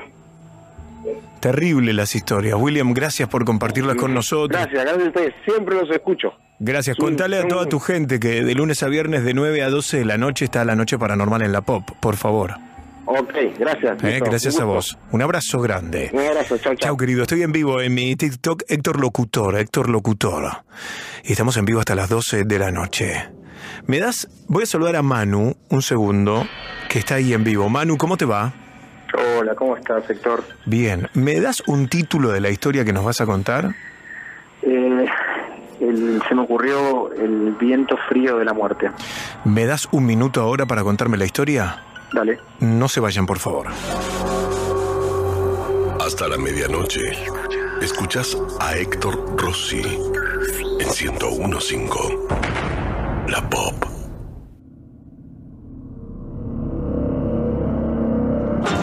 Diez y 20 de la noche en la República Argentina. Estamos en vivo. Manu nos espera en el teléfono. Manu, ¿cómo te va? ¿Cómo estás? Ahora sí, te escucho. Bueno, te cuento, yo soy médico clínico eh, y en mi segundo tercer año de residencia, realmente no me acuerdo porque hace muchos años de esto, eh, yo estaba haciendo guardia en un hospital de, de la zona norte de Gran Buenos Aires y eh, cuando vos estás en la residencia eh, atendiendo las urgencias también te haces cargo de los pacientes que están internados en lo que se llama la, la planta, ¿sí? los pacientes que están en, en, eh, en internación. Así que me avisan que hay una paciente que eh, tiene una enfermedad oncológica y que eh, estaba por, por, bueno, que estaba mal, o sea, que estaba con los signos vitales muy debilitados. Estos pacientes tienen orden de no resucitar, sí, porque son oncológicos. Para, para, per- perdóname, yo te entendí, pero como hablas un toque rápido, quiero repreguntarte para que la gente no se lo pierda, porque es fuerte lo que acabas de contar. Son pacientes que, yo no conozco el término, tienen orden de no resucitar, dijiste. Sí, son pacientes que si tienen una enfermedad avanzada oncológica, no se los resucita si entran en paro. Entiendo. O sea, están- son pacientes que están como de alguna manera se les están dando se les da soporte vital, se les da como la- las mínimas eh, los mínimos cuidados para que se llama cuidados paliativos a veces para que eh, como que bueno partan de la mejor manera posible ¿sí? con, con- con la dignidad que, que corresponde. Este, pas- esta paciente era una señora muy grande que tenía un, me acuerdo perfecto que tenía un cáncer de páncreas, estaba muy deteriorada, ya con muy amarilla, ya viste, estaba muy como muy avanzado su, su, su enfermedad con muchas metástasis, ya está prácticamente bastante inconsciente. Y me vine a avisar una de las enfermeras, yo estaba, yo había tomado, cuando vos haces guardias, viste, tomás como turnos, entonces yo tenía el turno de, de, de 3 a 5 o de, o de 4 a 6, una cosa así, era muy tarde de la noche, era una noche de verano, era enero o febrero. Me acuerdo que hacía mucho calor, yo me acuerdo que tenía una miambo y unas, y unas sandalias porque estaba muerto de calor. Y bueno, me avisa esta esta enfermera que el que la paciente estaba ya por por fallecer y yo estaba ocupado con un montón de pacientes, era un viernes a la noche, viste, a ti atendés el dolor de muelas, el infarto, la crisis asmática, atendés muchas urgencias de distinta índole, viste. Eh, y bueno, me vine a avisar eso y mm, llega un momento que termino de atender una paciente, la dejo en su box en, en la emergencia y veo desde la desde la sala donde estaba la guardia hacia la sala de internación había un pasillo que y había y había dos puertas de vidrio eh, interconectadas, ¿no? O sea, la sala, una puerta de vidrio, un pasillo, una puerta de vidrio y la guardia. Y, y veo que las puertas se que se abre una puerta, primero la de la de la que da a la, a la sala de clínica médica, después se abre la puerta de la guardia y corre un viento frío, un viento muy frío. Me llamó mucho la atención porque nosotros en, en esos en esos en los hospitales en este hospital es un hospital del, conurbano no teníamos aire acondicionado viste no no. Pero bueno dije debe ser una correntada de aire debe ser algo pero me pareció muy raro que fuera tan frío el aire que, que corría de hecho inclusive hasta pensé en, en como en abrigarme porque yo estaba estaba con un ambo que viste que son de tela sí muy sí muy infinito sí. Entonces dije bueno no me quiero resfriar son las 3 de la mañana eh, y vino ese frío fuerte, yo pensé en buscar un abrigo y me, me acuerdo que viene la, la, enfermera que estaba de guardia en el, en el box de enfermería y me dice, doctor, la, la paciente de, de la sala, eh, bueno, me, me dice el, nombre ¿no? y el número de, la cama, acaba de acaba de fallecer.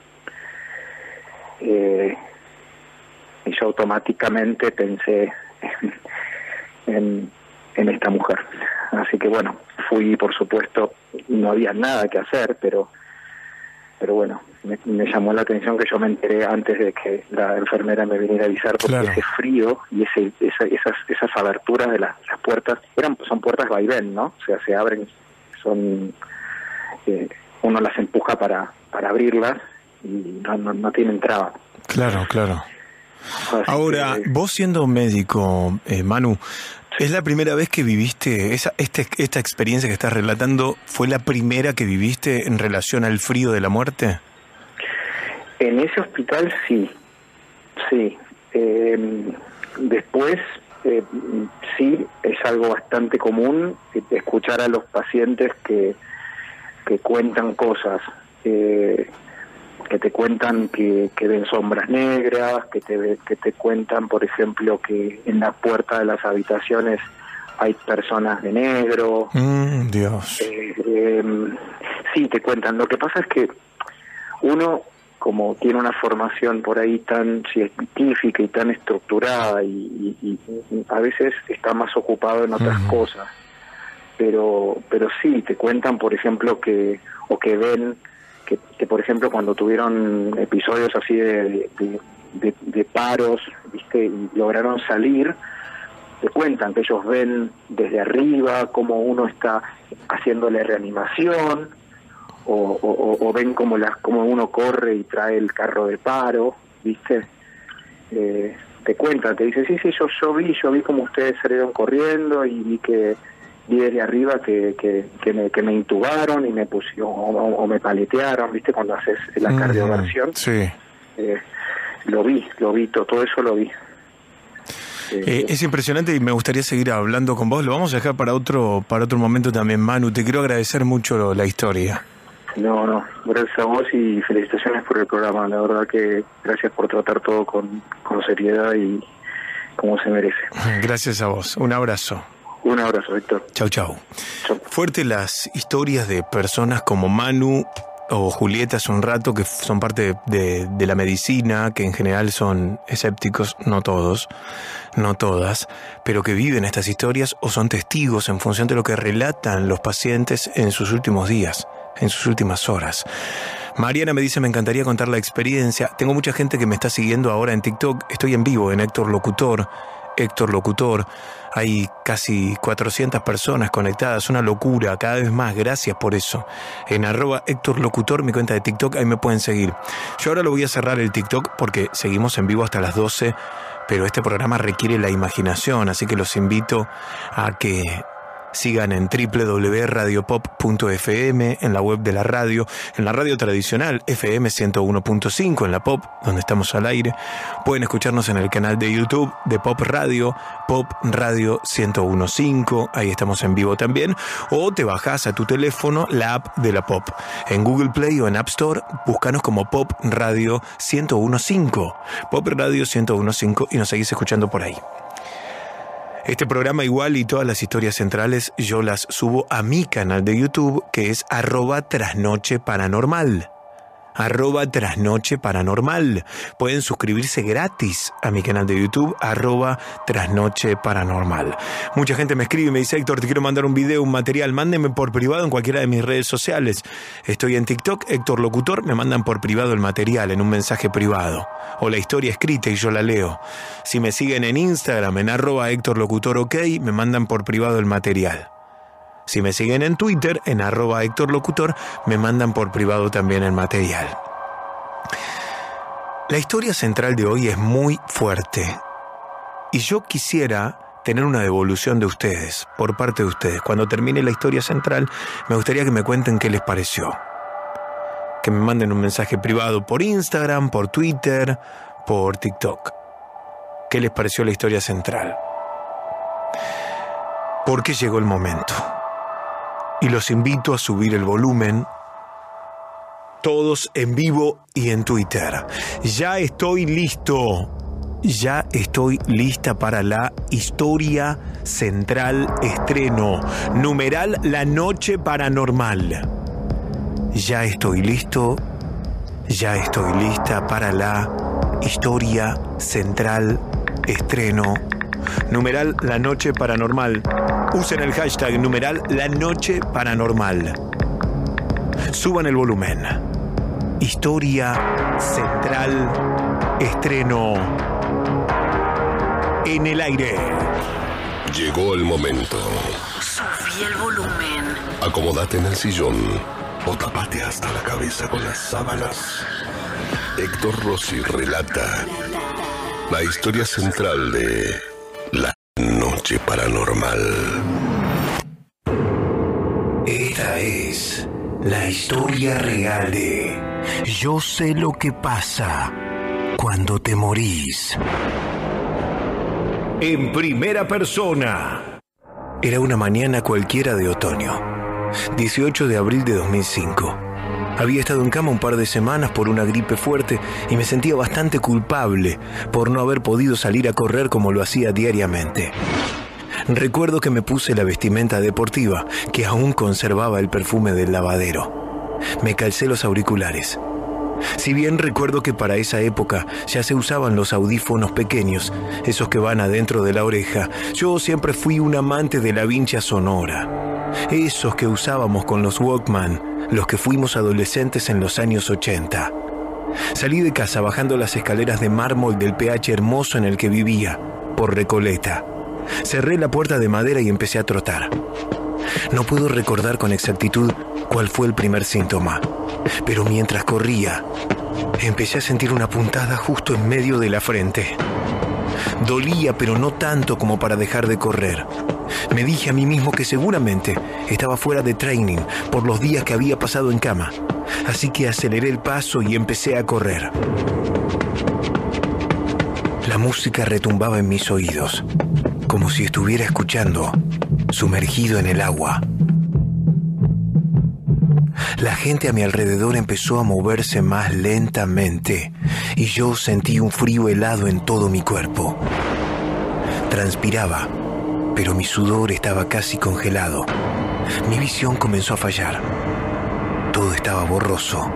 Así todo seguí corriendo. Hasta que en un determinado momento mis pies ya no respondieron y cuando quise pisar mi tobillo derecho se torció y todo mi cuerpo se derrumbó. Como las torres gemelas en aquel fatídico 11 de septiembre. Caí sentí el golpe. Aunque intenté poner mis manos para amortiguar la caída, mi cerebro envió la orden, pero mis brazos no respondieron. Entiendo yo que ya estaba desconectándome de este plano físico. Mi cabeza golpeó el asfalto y lo último que vieron mis ojos físicos fue el auricular vincha volando y cayendo a un par de metros, en medio de la calle Pacheco de Melo, justo antes de que les pasara por encima la rueda de un taxi, haciéndolos añicos en medio segundo. En ese momento todo se fue a negro, pero el único sentido físico que seguía conectado era el de la audición. No podía ver, no sentía mi cuerpo, no me dolía nada, pero seguía escuchando Personas gritando, otras pidiendo auxilio, sirenas de patrulleros o ambulancias, todos como fuera de plano, como lejos. Sin embargo, en primer plano, oía una voz ronca, un poco más gruesa, que me decía, Llegó tu hora y ya es irreversible. Todo lo que vino después fue extraño, horroroso y sorprendente. Empecé a ver, pero no con mis ojos. Si pudiera explicarlo, es como si mi conciencia o alma se desconectara completamente de mi cuerpo. Podía ver todo lo que ocurría a mi alrededor, pero como si flotara a baja altura, por encima de mi cuerpo y de todo lo que ocurría alrededor de él. Acompañé a la ambulancia hasta el hospital, mientras observaba cómo trataban de reanimarme, sin éxito. Fui testigo de un momento estremecedor, como los médicos firmaban mi acta de defunción y tapaban mi cuerpo con una sábana blanca. También presencié cómo le daban a mi madre la noticia y ella entraba en shock mientras mis tías la sostenían para que no se desmayara. Estuve presente en mi propia autopsia. Vi cómo abrían mi torso y extraían los órganos y fluidos. También acompañé desde un rincón de la sala de preparación a una joven maquilladora que le dio color a mi rostro y labios para hacerme parecer dormido. Creo que esa chica pudo verme o percibirme, porque me habló durante toda la sesión de maquillaje. Me decía, Gastón, sé que estás acá conmigo. Quiero que sepas que amo mi trabajo e intento trasladarte este amor a vos, a tu cuerpo. Sé que este no sos vos, y estoy segura que estás acá conmigo. Le juro que me impresionaba escucharla. Yo estaba ahí, pero no tenía materia. Mi presencia era concreta, quise hacer trampa y traté de verme reflejado en algún espejo de la sala. Adivinen qué vi. Solo podía ver un reflejo de una luz que no me permitía observar, me encandilaba, como si intentaras ver el sol del mediodía de verano sin gafas. Estar muerto es una sensación extraña.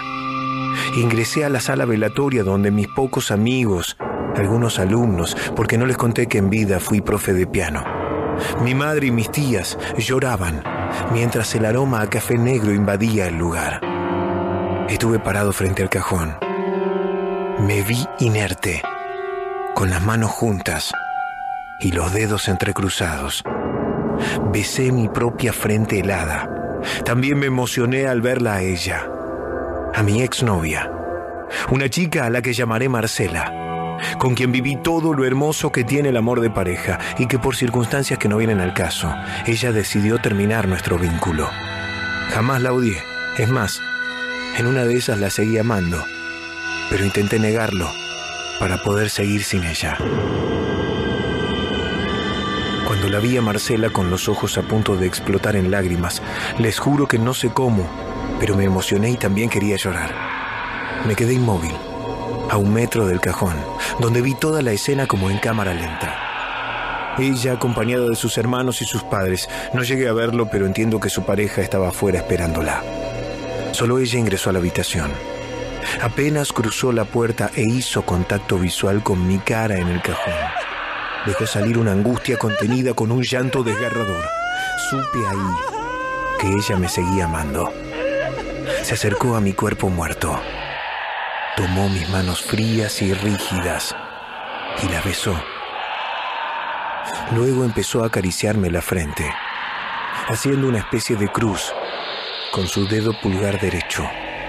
Se acomodó de manera tal de tomar mi cara con sus manos y dijo susurrando, perdón, siempre te voy a amar. Sos mi historia de amor. En ese momento yo sentí, y no sé cómo porque ya no tenía cuerpo físico, un nudo en la garganta y dejé caer mis lágrimas contenidas que encerraban años de palabras no dichas. ¿Quieren algo mágico y paranormal? ¿Algo milagroso o místico? Mi cuerpo inerte dejó caer dos lágrimas potentes, una de cada ojo, mojando las manos cálidas de Marcela y haciendo que ella suelte la cara de mi cadáver y llame urgente a su madre y a los demás presentes, que lamentablemente cuando ingresaron a la sala le dieron una extraña explicación relacionada a los procesos químicos que tenía mi cuerpo y a las alucinaciones típicas de aquellos familiares que pasan por el trauma de despedir a sus muertos. Lo cierto es que cuando volví a mirar el rostro de mi propio cadáver, no tenía ninguna lágrima. ¿Será que después de muertos también podemos ver espejismos? Lo que vino luego fue un poco morboso para contarlo porque mi cuerpo fue cremado y mis cenizas esparcidas en un parque público de la ciudad de Buenos Aires, al que solía ir a trotar de niño. Pasados nueve días de muerto, esa voz gruesa que escuché cuando me descompensé empezó a tener imagen. Estaba yo en una especie de cuarto blanco, exageradamente iluminado. Era un banquete, mesas blancas adornadas con bebida y comida y al menos 100 personas, todas vestidas de blanco, se servían y tomaban. En ese momento volví a tener cuerpo, ya no físico sino espiritual. Me vi en uno de los espejos del salón. Estaba vestido con un smoking blanco y yo parecía tener 25 años. Mi imagen era la de mis 25, pero con otro look, otro peinado, vestido como para un evento. Entre la gente de blanco ingresó esta mujer, vestida de negro. Tenía un vestido ajustadísimo y corto, tacos altos en punta y una cabellera larga negro azabache. Era hermosa. Sus labios estaban pintados de un rojo carmesí brillante que no tenía comparación. Se acercó a mí y me dijo, soy yo, la misma que te saludó en el otro plano y te recibe en este. Ahora su voz no era terrorífica, sino más bien misteriosa. Le pregunté por qué la había escuchado con una voz tan gruesa y diferente. Me explicó que a la muerte le tenemos miedo cuando estamos vivos. Por eso nuestra percepción está condicionada por el temor y tergiversamos su esencia. ¿Entonces siempre fuiste esta mujer hermosa? Le repregunté. No, soy la que cada persona imagina en este plano. No tengo forma, tampoco vos, y ninguna de las almas que están compartiendo este lugar, que tampoco existe. Lo que ocurre es que le lleva un tiempo a nuestra alma abandonar la tiranía de las formas y de las etiquetas. Es por eso que en este plano más elevado nos adaptamos a lo que cada uno necesite ver para creer. Lo importante, Gastón, es que llegó tu hora. Me volvió a decir. ¿Mi hora de qué? tu hora de abandonar esta personalidad. Tu alma va a emprender un viaje donde pueden ocurrir dos cosas. Que el Creador te permita volver al plano material o que ya estés para evolucionar a otro nivel álmico. Pero no puedo contarte mucho más. ¿Puedo contarle a alguien sobre esto? Le dije. ¿Puedo darles una señal a mis seres queridos de que estoy bien? Quiero despedirme de ellos. La muerte me miró y me dijo, hay una sola manera, pero tiene que ser ahora. Entonces me mostró a una mujer rubia que estaba en terapia intensiva en algún hospital que no llegué a reconocer, porque la imagen era como una proyección holográfica en el techo. La muerte me dijo, no importa que no la conozcas, háblale a ella y contale todo esto. Tenés un par de horas antes de que despierte del coma en el que está. Entonces, le conté todo a esa mujer. La muerte me lo permitió. Crean que hay algo más. Porque yo sé lo que pasa cuando te morís. En junio de 2005, una mañana fría de invierno, tocaron el portero de la casa de Marcela, la ex de Gastón, el protagonista de esta historia. Una mujer rubia de 30 años se presentó como Victoria Subió al departamento de Marcela y le dijo que quería entregarle una carta, que no podía explicarle mucho más que decirle que mientras estuvo en coma, un hombre llamado Gastón le había relatado todas estas vivencias que ustedes acaban de escuchar en forma de historia central. Victoria al despertar no podía hablar por haber estado entubada, pero sí estaba muy consciente y pidió que le trajeran papel y lápiz. Redactó como pudo todo lo anteriormente narrado cuando le dieron el alta, volvió al texto y decidió retocar algunos detalles para que tengan sentido literario, ya que ella es escritora. Marcela volvió a llorar y le abrazó durante diez minutos en silencio. Y cuando pudo recomponerse, le preguntó cómo lo sabía ella, quién era ella, si tenía poderes o era medium. Victoria le confesó ser escritora, justamente porque su escepticismo la obligaba a tener una vida aburrida, y al escribir ella podía inventar historias, situaciones y vivencias que nunca había tenido, pero este texto era una excepción. Este texto se lo había dictado Gastón desde el más allá, mientras ella estaba en coma. Victoria pudo incluso describírselo físicamente porque había visto una foto de él. Marcela le preguntó ahora más extrañada, cómo y por qué había visto una foto de él. Victoria le respondió con un dato emocionante, esclarecedor y escalofriante. Victoria le contó que era la receptora del corazón y los pulmones de Gastón. Ella estaba en estado crítico y los médicos pudieron salvarle la vida con los órganos de Gastón. Saquen sus propias conclusiones. Esta historia es real. Hasta la medianoche. Escuchás. La Noche Paranormal en 1015. La Pop.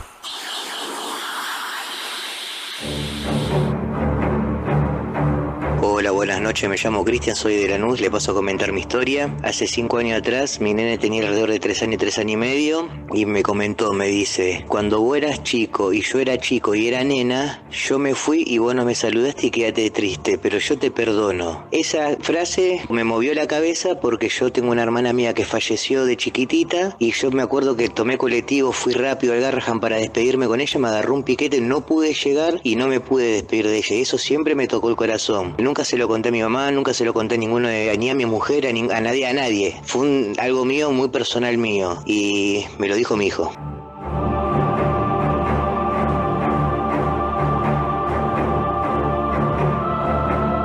Maxi de Palermo. Bueno, la historia mía es que alquilé una casa hace más de 10 años en Boedo, un PH muy antiguo, como todas las casas antiguas, con suelo con cámara, crujía mucho, la electricidad siempre fallaba, mucho ruido. Pero en un momento me empezó a incomodar que muchos chuchos de frío, muchos lamparitas que se quemaban y empezaba a sonarme el timbre a cualquier hora. Me daba un chucho de frío y sonaba el timbre, un portero eléctrico del pasillo que daba a la calle, ¿no? Entonces yo me levantaba al baño afuera, como todas las casas antiguas, me levantaba al baño a la noche, tarde, y cuando pasaba por al lado del timbre, sonaba. No era nada como demasiado sobrenatural, pero era molesto y era raro, porque me acompañaba con un medio como un chucho de frío. Se empezó a repetir cada vez más seguido, a medida que pasaban cosas también, ¿no? Como un poco, pero no, no les di mucha importancia. Un día estoy entrando con mi hija, que era muy chiquita en ese momento, que tendría, no sé, siete años, o un poco menos, o seis años, y estoy en el pasillo al fondo, por abrir la puerta de mi casa, y escucho que suena el timbre. Entonces miro hacia la calle,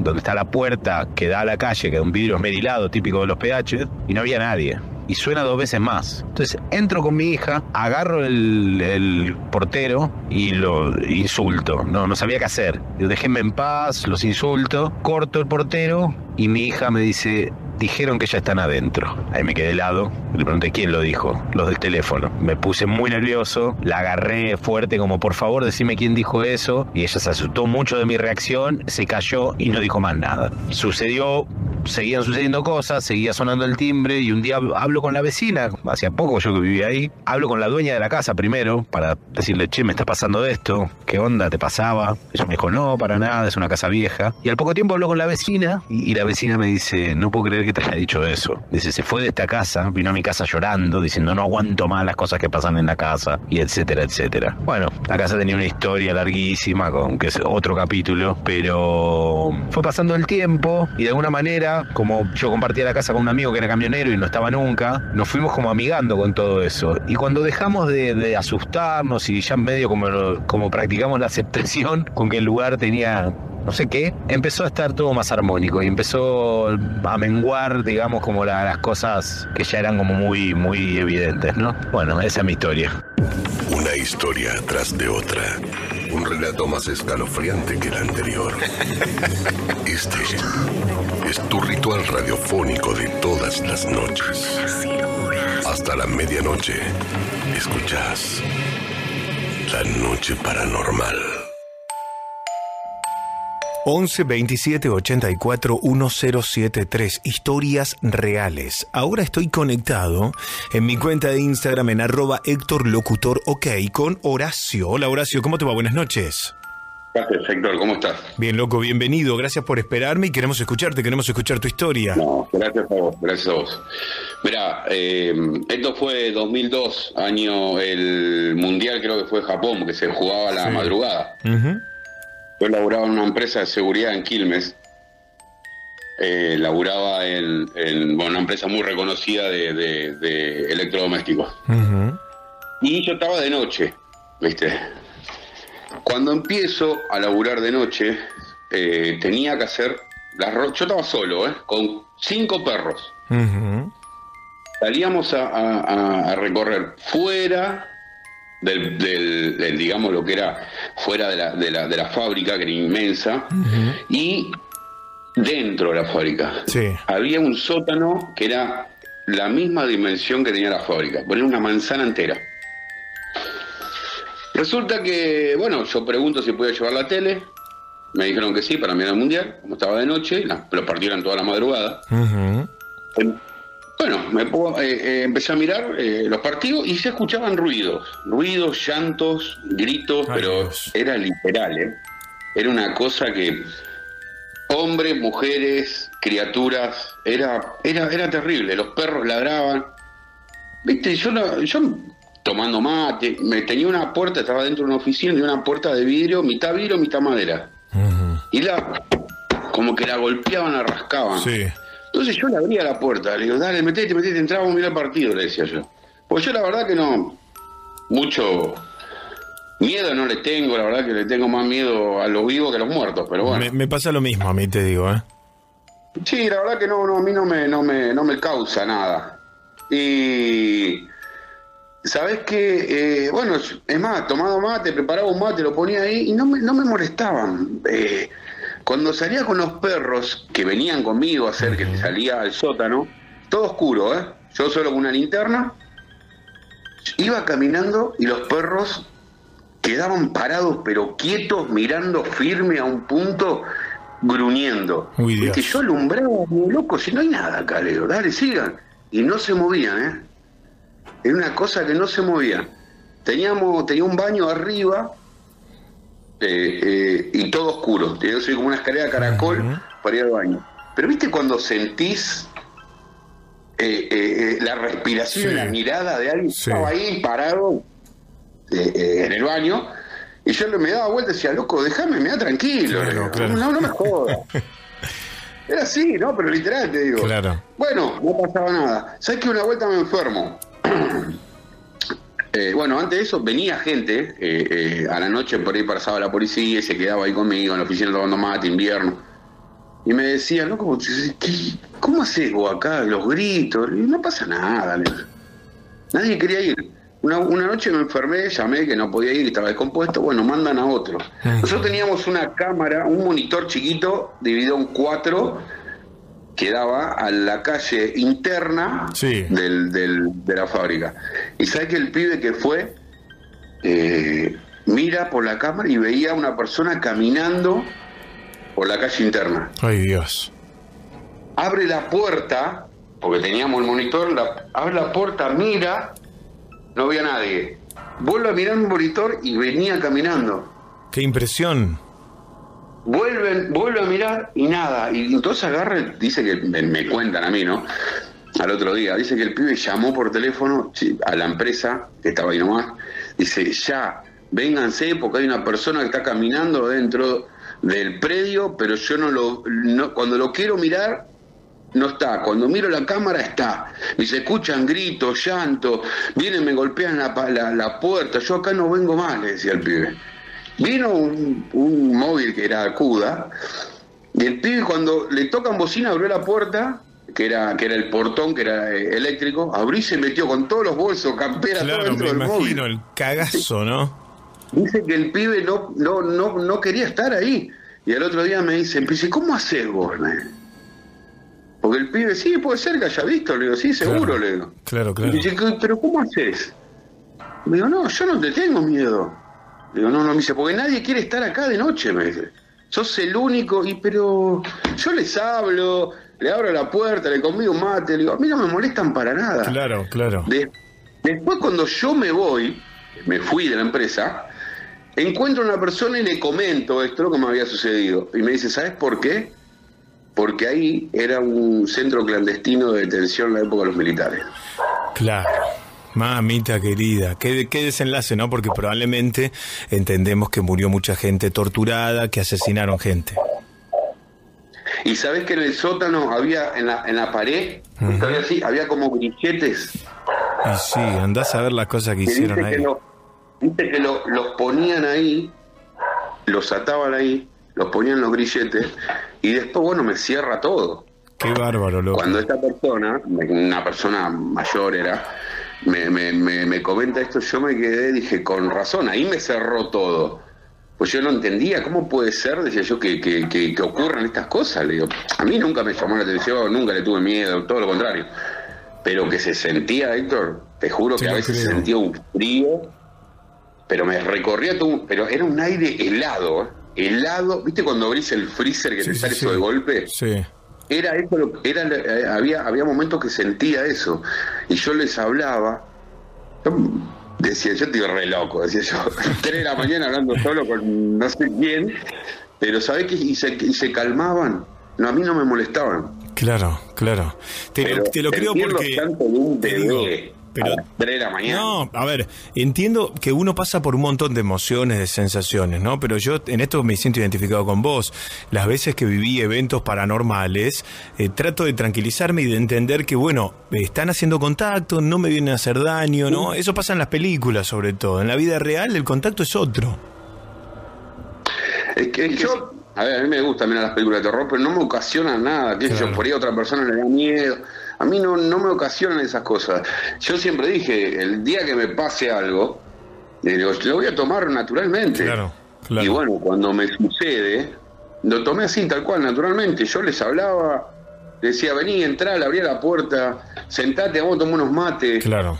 Vos mirá el partido, loco, le decía, está jugando Argentina, mirá, disfrutá el partido. le- y, y- y yo era un loco y adentro hablando solo. Y cuando venía gente, me decían, che, se escuchó ruido. No, no, pero no pasa nada. No, no, no, pero se escuchó la persona que te, que está gritando. Está llamando a una persona, no pasa nada. Le. Es Qué normal. bárbaro, loco. Qué buena historia, ¿Es che. Me dice. Te, te agradezco, que- te agradezco que le hayas contado, te mando un gran abrazo. Héctor, eh, te escucho siempre, yo laburo de noche, hoy estoy de Franco, siempre te escucho en el auto dando vuelta, sos un genio, lo- te veo en 26 también, Gracias, mi familia loco. también. Gracias. Un genio, loco. La verdad que te mando un abrazo grande y que sigan los éxitos. Igualmente, gracias por contar tu historia. Un abrazo. Hasta luego. Chau, chau. Bueno, para Macarena Ruiz, gran historia la que acabado de contar el, el amigo. ¿eh? Estamos en vivo para salir al aire, ya sabes, 11 27 84 1073. El WhatsApp paranormal, 11 27 84 1073. Si vos querés escribir una historia para que yo la lea al aire, te doy el mail que es trasnocheparanormal.gmail.com trasnocheparanormal.gmail.com Voy a leer algo al aire, me causa gracia, porque la voy a grabar la historia, está buenísima. Pero nos escribe, eh, escucha esto, ¿eh? escucha a Macarena Ruiz. Hola Héctor y hola equipo, me alegra que les hayan gustado los relatos que les mandé. Aquí les mando otro. Soy, escucha esto, Maca, soy Juan Pablo Aranda y trabajo al lado de tu radio literal porque soy el operador de la trasnoche de Radio One. No lo puedo creer. Como operador y también editor, tengo muchas ideas. Me daría mucha ilusión tener la posibilidad de crear una versión alternativa a la que va a salir al aire. Ya me dirás vos si te copa la idea y si este texto en particular te sirve, ya que tiene una atmósfera diferente a la otra historia. Te dejo mi celular. Es buenísimo esto, pero no entiendo si la quiere grabar él. No, entiendo que quiere editarla él. Se la vamos a editar a Juan Pablo Aranda. Acá tengo el teléfono de Juan Pablo Aranda. Ahora después te lo paso, Macarena. Y le, escribimos a Juan Pablo Aranda que nos. Yo le grabo la historia, le doy el crudo de la, de la historia con mi voz y que la arme a, a su gusto. ¿Por qué no? Escúchame. Este programa, somos una familia, Radio One está acá al lado de verdad, ¿eh? o sea, al lado del estudio de la pop. Bueno, estamos en vivo. Para más historias, 11 27 84 1073. Hola Héctor, soy Javi de Lanús, Poroto.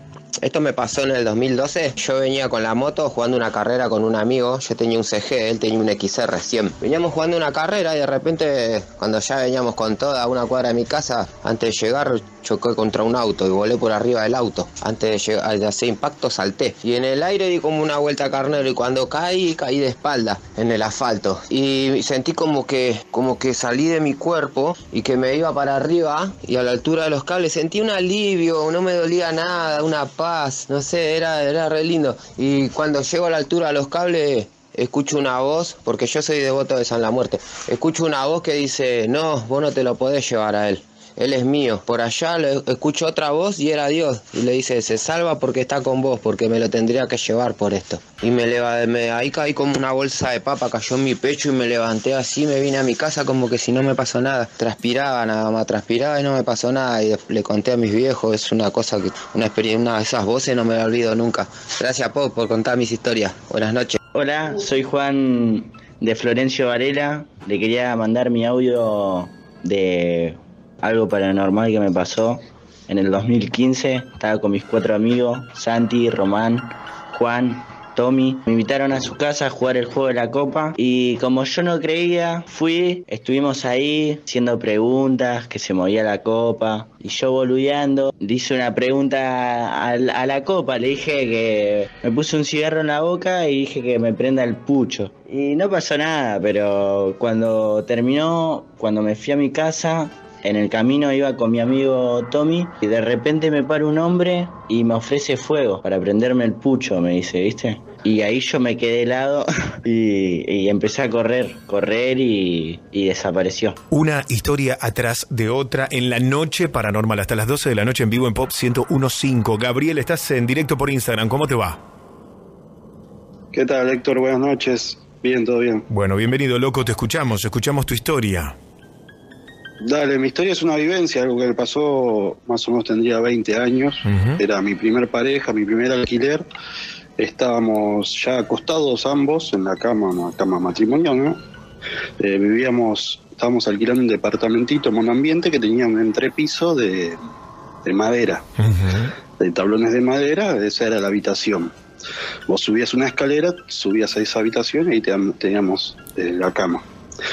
estábamos ya acostados, yo ya estaba en ese momento en el que te estás durmiendo y sentí el crujir de las maderas. Sentí como que alguien estaba caminando y yéndose para el lado de, de la escalera, ¿no? Entonces entreabro los ojos y veo esa sombra, una sombra, eh, para mí era una sombra masculina, que se pone a, como a bajar las escaleras y yo escucho perfectamente cada paso cada eh, escalón, todo escuché. Y lo primero que, que, pensé que era mi, mi, novia, ¿no? Entonces, con el brazo, eh, palpo hacia, hacia, en ese caso, en este caso fue hacia mi derecha, y siento a mi, a mi novia. Digo, o sea, no era ella. Claro. Y en, cuanto la toqué, ella me dice, ¿viste eso? Me dice. O sea que ambos vimos eh, lo que había pasado abajo estaba la puerta cerrada, yo tenía recién adoptado un perrito muy chiquitito, no hizo ni un ruido. Yo bajé enseguida, estaba el perrito, no había nadie, la puerta no la escuché. Fue increíble, la verdad que algo que no pude explicar nunca, yo nunca había creído nada, pero eh, esta noche lo, lo vi, lo vi lo vi con alguien, sea, es algo que es imposible ya al ser compartido que, diga, no, estaba medio dormido, lo soñé. Claro, claro, no fue, una, no, fue, una, alucinación, esto está bueno lo que contás porque parece un detalle menor, pero termina siendo lo trascendente de la historia. Tu pareja también vio algo, alguien. Claro, sí, sí, sí, sí. Después lo discutimos y ella vio exactamente lo mismo que yo, escuchó lo mismo que yo, sí, sí. Oíme, eh, cuando lo hablaste esto, cuando se lo contaste a alguien, cuando lo hablaste, ¿alguien te tiró alguna hipótesis de qué pudo haber sido? Bueno, eh, al otro día yo fui a trabajar, trabajo en un shopping de mantenimiento, y le conté a mi jefe, y mi jefe me dice, Gaby, vos tenés el espejo, no me acuerdo cómo era, vos tenés el espejo... Eh, a los pies de la cama, eso sí fue así. ¿Vos tenés los, el espejo a los, pies, a los pies de la cama? Sí, le digo. Ah, y fíjate, la cama que no apunte hacia el norte, no me acuerdo hacia dónde me dijo. Bueno, yo esa noche a la noche siguiente, digamos, di vuelta a todo, saqué el espejo a la mierda. La mierda. verdad que Voló el espejo al carajo. él me había, claro, me había como explicado de que por el espejo pueden entrar fantasmas de- de- del otro mundo, ¿no? Vos sabés que yo, no también- sabía nada, yo lo escuché, me lo dijeron acá en el programa, que no hay que tener espejos que reflejen este, tu cama en la habitación, en, la, habita- en el dormitorio. Encima era un espejo, encima era un espejo antiquísimo, porque Claro. siempre las cosas uno cuando se va a mudar solo, el primero, el primer alquiler eh, trae todo lo que puede de los Claro, abuelos, de los claro. viejos, de lo que sea. Es un espejo del año del pedo, una vez sería de los de los 50 por ahí, ¿no?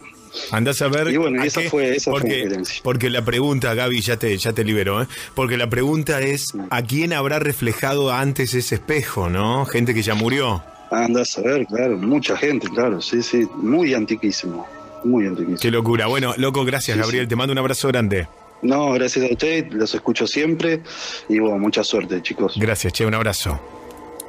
Chau, chau. abrazo. Ahí estaba Gabriel en vivo en Instagram. Estoy en arroba Héctor Locutor OK, arroba Héctor Locutor OK. Si querés seguirme en Instagram, arroba Héctor Locutor OK. Y una vez que me empiezas a, que me empezás a seguir, arriba, al lado de mi nombre, hay una campanita en Instagram. Toca la campanita y activa todas las notificaciones para no perderte de nada cuando estoy en vivo, cuando subo un video como reel. Metete en la campanita al lado de mi nombre en Instagram, tocas ahí, desliza para la derecha todos los ítems, activa todas las notificaciones para no perderte nada de la noche paranormal. Hay más historias.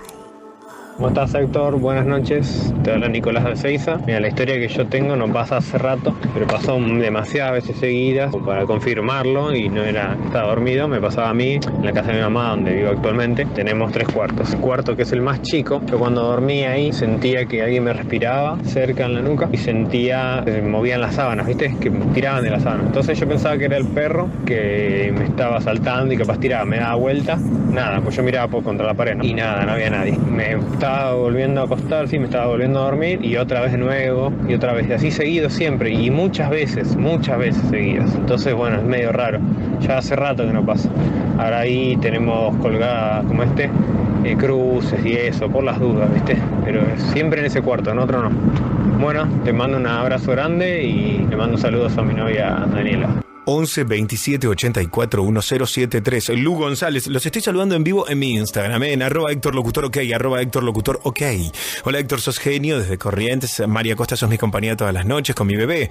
Está por ahí Ariel Andrés. Hola Héctor, buenas noches. Trabajando cerca del cementerio de Chacarita. ¿Sabes lo paranormal que es este cementerio? Dice, hay que venir con un cura. Almita dice, hola Héctor, saludos desde Embarcación Salta. Hola Almita. Hola a todos. Grande Héctor dice, Mía Belu 31. Héctor, te escucho desde Israel. Claudia, hola. Saludos desde Hurlingham. Henry dice. Hola Héctor, saludos desde General Rodríguez. Soy de los chicos de Código Miedo. Saludos para Nahuel de Caseros, lo amo, dice Maggie. Luca Ruiz. Hola Héctor, saludos desde Médanos, provincia de Buenos Aires. Guille Reali. Estoy en vivo en Instagram. Hola Héctor Lore de General Rodríguez. Hola amigo, soy Marcelo de Bingus. Te veo por el 26 Radio. Acosta dice General Pacheco Junir. Hola Héctor desde Viedma. Saludos desde Chaco. Toda la Argentina conectada. Hola Héctor desde Corrientes. Te escucho siempre. Saludos desde San Martín, Chaco. Hola Héctor. Bueno, está explotado el Instagram. Arroba Héctor Locutor OK. Tengo una historia. Voy por acá. Hola a todos, Héctor, soy de Ciudadela. Prefiero no decir mi nombre. Una mañana estaba sola en mi departamento. Estaba saliendo para ir al colegio, pero decidí no ir porque llovía cántaros. En un momento escucho que empujan la puerta, como queriendo entrar. A lo que yo pregunté quién era y me contestaron ya. Abrime. De muy mala forma. Yo pregunté, ¿quién es? Miré por el ojo de la puerta y pude ver a un hombre muy robusto, todo mojado, que no conozco. El hombre este empezó a forcejear la puerta, a lo que yo me asusté mucho y pongo la mesa del comedor contra la puerta. Lo llamo a mi novio, le comenté lo que estaba pasando. Él vive muy cerca de casa. Llegó en cinco minutos.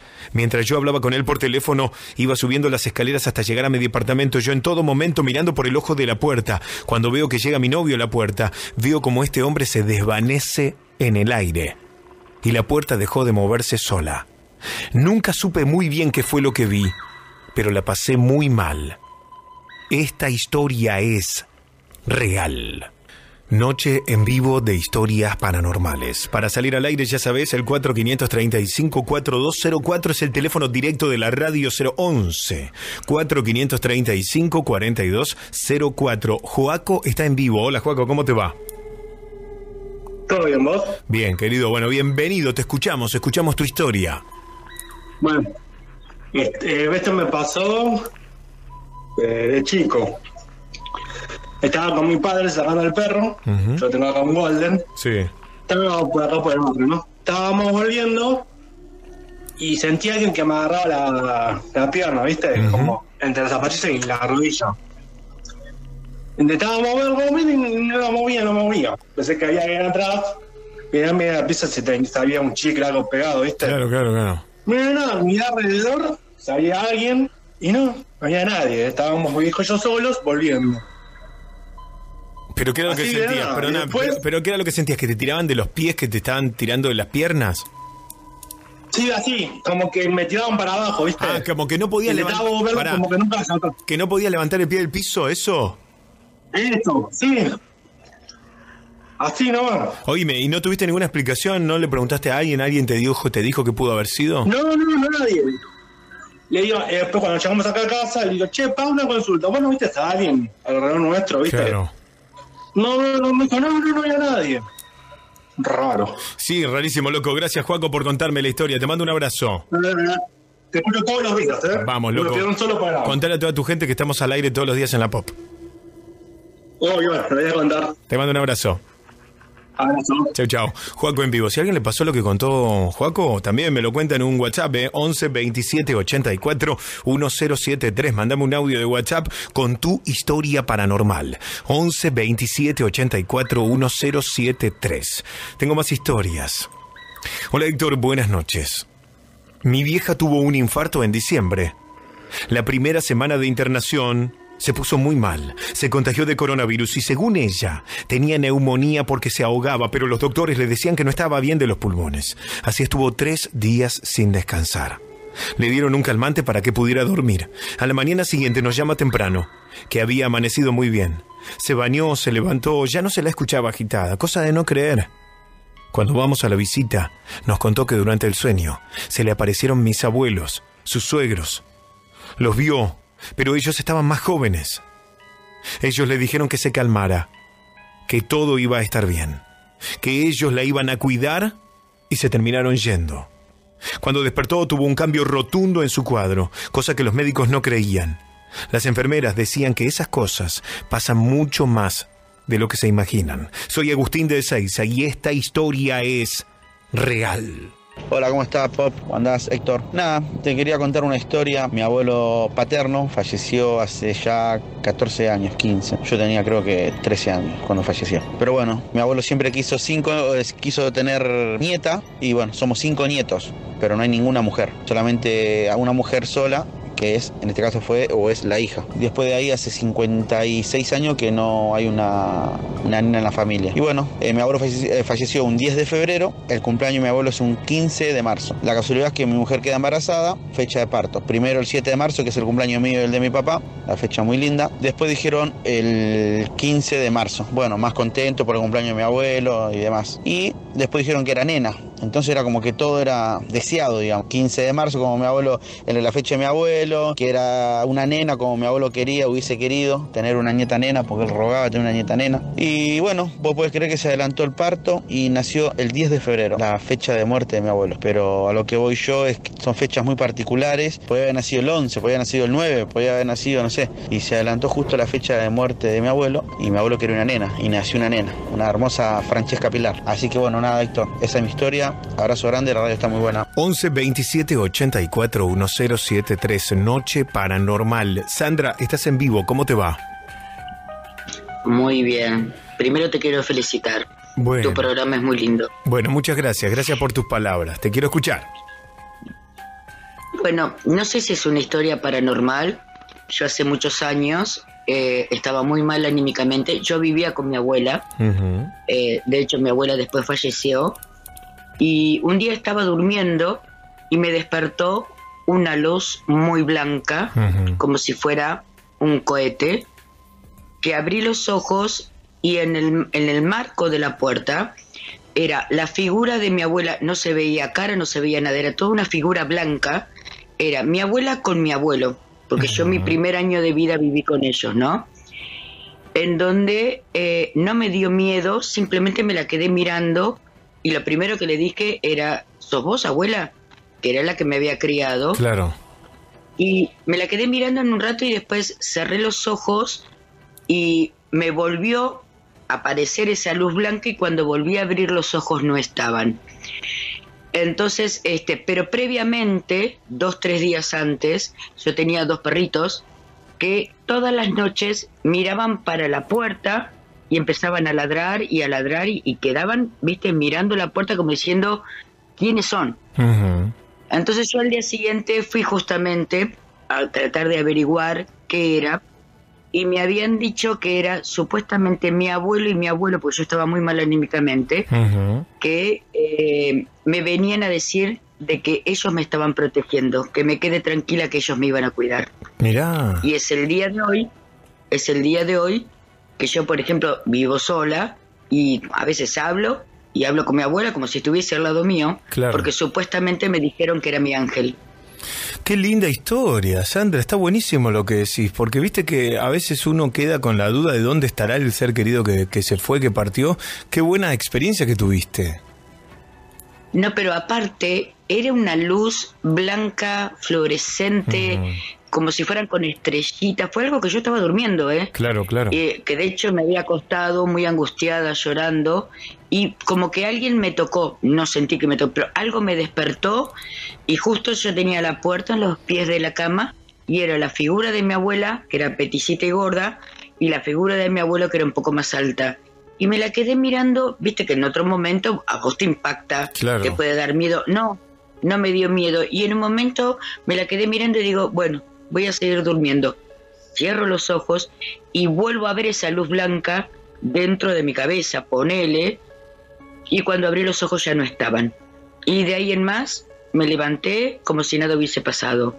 Pero fui a averiguarlo y me dijeron que sí, que eran ellos que me estaban cuidando. Y hasta el día de hoy, yo por ejemplo vivo sola, hoy estaba escuchando música y, y yo Sí. hablo como si mi abuela estuviese al lado mío. Le hablas a ella. Sí, Qué bárbaro. eh. Gracias, Sandra, por compartirnos tu, tu super experiencia. gracias a vos. Eh, te mando un, Un beso. besito. Chao, Gracias. chau, chau. Estamos en vivo. Para salir al aire, ya sabes, hay un WhatsApp que es el WhatsApp paranormal, que está abierto 24 horas, 11 27 84 1073. 11 27 84 1073. Mándame tu audio o escribí tu historia. Hay más relatos paranormales. Hola, buenas noches, Héctor. Buenas noches a toda la radio. Bueno, yo quiero saber algo. Ay, quiero saber si me lo pueden explicar. Yo, yo hoy tengo 56 años. Yo me acuerdo que yo tenía 3 años, vivía en Tucumán. Yo me acuerdo clarito cuando falleció una tía abuela mía. Antes de fallecer, ella me habla. Me habla al oído, me dice unas palabras, pero yo no me recuerdo qué palabras. Y de ahí yo me di cuenta, empecé a ver cosas. Y hasta el día de hoy siempre veo, miro a la gente a los ojos siempre veo su tristeza, su dolor. Jamás puedo ver una alegría en esa gente. Siempre veo eh, mucho dolor, hay gente que tiene mucho dolor. Y esto es verdad lo que me está pasando, esto no, no es mentira. Y si hay alguien que me lo puede explicar, por favor. Super Noche Paranormal. Hola Héctor y hola Mona y equipo de la Noche Paranormal. Mi historia la titulé Una noche de terror en el hospital. Cuando tenía ocho años, una noche de invierno mi padre era foguista de un famoso hospital de Avellaneda que por privacidad no voy a dar su nombre. Pero mucha gente que lo conoce se va a dar cuenta de qué hablo. Transcurría el año 1983 y una noche de mucho frío cuando mi viejo me dijo, hoy no queda nadie en casa, así que te vas conmigo al trabajo. Yo feliz de la vida que iba a viajar en colectivo y también iba a conocer a dónde trabajaba mi papá. Imagínense al llegar a ese lugar, era un galpón muy grande, calentito, donde funcionaban las calderas las 24 horas, los 365 días del año. Le daba calefacción a todo el hospital. Esa noche, recuerdo que era vivir un sueño, todo era muy lindo. conocer los amigos de mi viejo, recorrer todo el hospital desde las 10 de la noche hasta las 6 de la mañana del otro día, controlando que todos los radiadores de los pisos funcionaran correctamente con la calefacción. Después, cenar en el buffet. Era hermoso. Me topé con el susto más grande que me iba a llevar en mi vida. Recorrimos un pasillo del hall central, hacia el fondo, mientras iba leyendo unos carteles que decían farmacia, fichero y de frente esterilización. Al llegar a esa ventanilla que cortaba ese pasillo, mi viejo me dice, seguime, vamos hasta el lavadero a hablar con don Pedro. Mi viejo caminaba muy rápido porque tenía que volver en pocos minutos a darle agua a la caldera. Yo prácticamente trotaba atrás de él para alcanzarlo. Cuando doblamos un pasillo al costado de esterilización en la oscuridad, vi seis camillas, tres de cada lado, con personas muertas. Se me apagó la compu, chicos. Paranormal real. No puedo seguir leyéndoles la historia. Esto es paranormal posta, ¿eh? Tenía batería al 100. Se me apagó la notebook. No, no, no, se me puso la piel de gallina. Mal. Pero mal, ¿eh? Fenómeno paranormal real. En vivo. Mirá, se me apagó la notebook. Ahora la enchufo igual, pero tenía batería al 60. Te lo juro, se me apagó la computadora. Desde donde estaba leyendo la historia. Es increíble. No sé si había algo en la historia, yo siempre digo lo mismo capaz, pero si había algo que no se tenía que contar al aire, posta es lo que acaba de pasar. No estoy mintiendo, no estoy actuando, les acabo de mostrar por TikTok la computadora apagada. Ay Dios. Bueno, dame una historia. Hola 101.5. Eh, bueno, mira, recién llegamos venimos de Zárate y queríamos contarte lo que nos pasó allá, es algo insólito. Resulta que fuimos de pesca y nos quedamos hasta la tarde. Decidimos volvernos porque no, no pasaba nada en la pesca. Y nos paramos antes de volver a nuestro destino en un puente que hay mucha gente que no, no, pesca ahí porque hay cuentos que dicen que el puente eh, no, te deja no te deja ir, te evite cosas, cosas raras. Bueno, nosotros no hicimos caso de, lo que de los comentarios. Bueno, resulta que nos quedamos un rato ahí y probamos pique, tiramos caña. Bueno, hasta que nos aburrimos. Y cuando levantamos campamento para irnos, el auto no arranca. El auto no prende las luces. Y no sabés cómo nos cagamos porque ya veníamos este, cajeteando esas cosas, ¿viste? Ya había caído la tarde, el sol, ya, ya era noche. Y no, y decidimos eh, pensar en positivo y, tratar de que el auto arranque, porque el auto es un auto nuevo, no, tiene ningún problema, era una cosa rara. Así que bueno, eh, nos presionamos y, entre los cuatro empujamos el, auto un poquito como para que tome un, un envión. Y bueno, eso fue lo que pasó. El puente nos quiso detener. El maldito puente de Zárate. Nunca más vamos a volver a ese puente. Bueno, todavía choqueados con lo que pasó con la compu, ¿eh? lo vamos a reconectar y les voy a leer la historia porque quedamos todos con qué pasó en ese hospital. Estaba buena encima la historia. Luis, estoy en vivo con vos, ¿cómo te va? Bien, bien. ¿Y a ti? Bien, ¿de dónde sos? ¿De dónde eres? Chile, Santiago. Bueno, bienvenido, bienvenido y escuchamos tu historia. Mira, yo trabajo en un sector donde hay muchas parcelas y toda la gente está construyendo sus casas, casas grandes. Yo trabajo en construcción, hago casas. En la parcela al lado ya hay una casa construida donde habitaban dos personas y un niño, dos adultos y un niño, una familia. Y en donde estaba trabajando yo tenían que llegar unos materiales, llegaron un día y eran re caros y para que no se los robaran la señora me pidió que me quedara yo ahí pues, a dormir, la dueña de la parcela. Eh, yo hice eso, me quedé ahí. Esa noche hubieron harto ruido raro y cerca de donde tenemos la herramienta salía un olor medio malo, ¿viste? Y yo me acerqué para allá y pasa una sequía por ahí. Y uno trata de buscarle la explicación lógica a estas cosas, pues. Nunca lo terminé asociando al tiro a algo paranormal, ¿viste? ¿Pero no, no, no llegaste a ver algo o solo o- No, oliste, digamos? Asimilé como era de noche y estaba oscuro, ¿viste? Dije, a lo mejor hay un animal muerto que pasó por Claro, la sequía y se quedó trancado justo en ese lugar. Claro. Eh, eso fue a las 2 de la mañana y como a las 3 de nuevo sentí ruido y fui para allá y no había nada, ¿viste? Bueno, y al otro día desperté y el- en la mañana como a las 8 y los vecinos dijeron que su hijo se había muerto esa noche y le había dado una fiebre muy alta y murió, no alcanzaron ni a llegar con él al Uh, hospital. Dios. Entonces yo le conversé a mi papá, que es viejo él, y es de Valdivia, ¿viste? Y me dijo que cuando la muerte andaba cerca, eh, no dejaba dormir a- o molestaba a los que estaban por ahí y después se llevaba a alguien, po. Te digo que Sí, nunca más, mirá, nunca más me quedé probablemente, ahí en esa parcela. probablemente hubo, hubo ahí, la muerte estuvo cerca tuyo también. Sí, sí, pues, pero yo nunca más me volví a quedar ahí. Me imagino, me imagino. Gracias Luis por relatarnos tu historia. Vale, Héctor, saludos. Un abrazo grande. Me quedo conectado con el polaco que está en vivo también. Polaco, ¿estás ahí? Hola Héctor, ¿cómo estás? ¿Todo Bien. bien? Buenas noches, gracias por esperarnos y queremos escucharte. Buenas noches, buenas noches para todos ahí, siempre ahí firme con la pop. Vamos olvidate, todavía. Como siempre. Bueno, hola, no sabés, yo tengo que ir a un curandero, tengo que ir a un lado, porque últimamente me están pasando una de cosas. A ver. Y el otro día te iba a hablar al WhatsApp, viste, te iba a contar, pero dije, no, después digo, después le hablo. Pero no sabés, en el bondi, otra vez en el colectivo. Vos trabajás, eh, sos chofer de colectivo, le decimos a la gente que quizá no te conoce. Chofer de colectivo. Sí, sí, chofer de colectivo. De la línea 514. Bien. La decimos, no pasa nada. Bueno, eh, esto pasó así. Nosotros llegamos, tenemos la vuelta y viste cada vez que vos llegas entre vuelta y vuelta tenés el descanso en una cabecera. ¿Me entendés?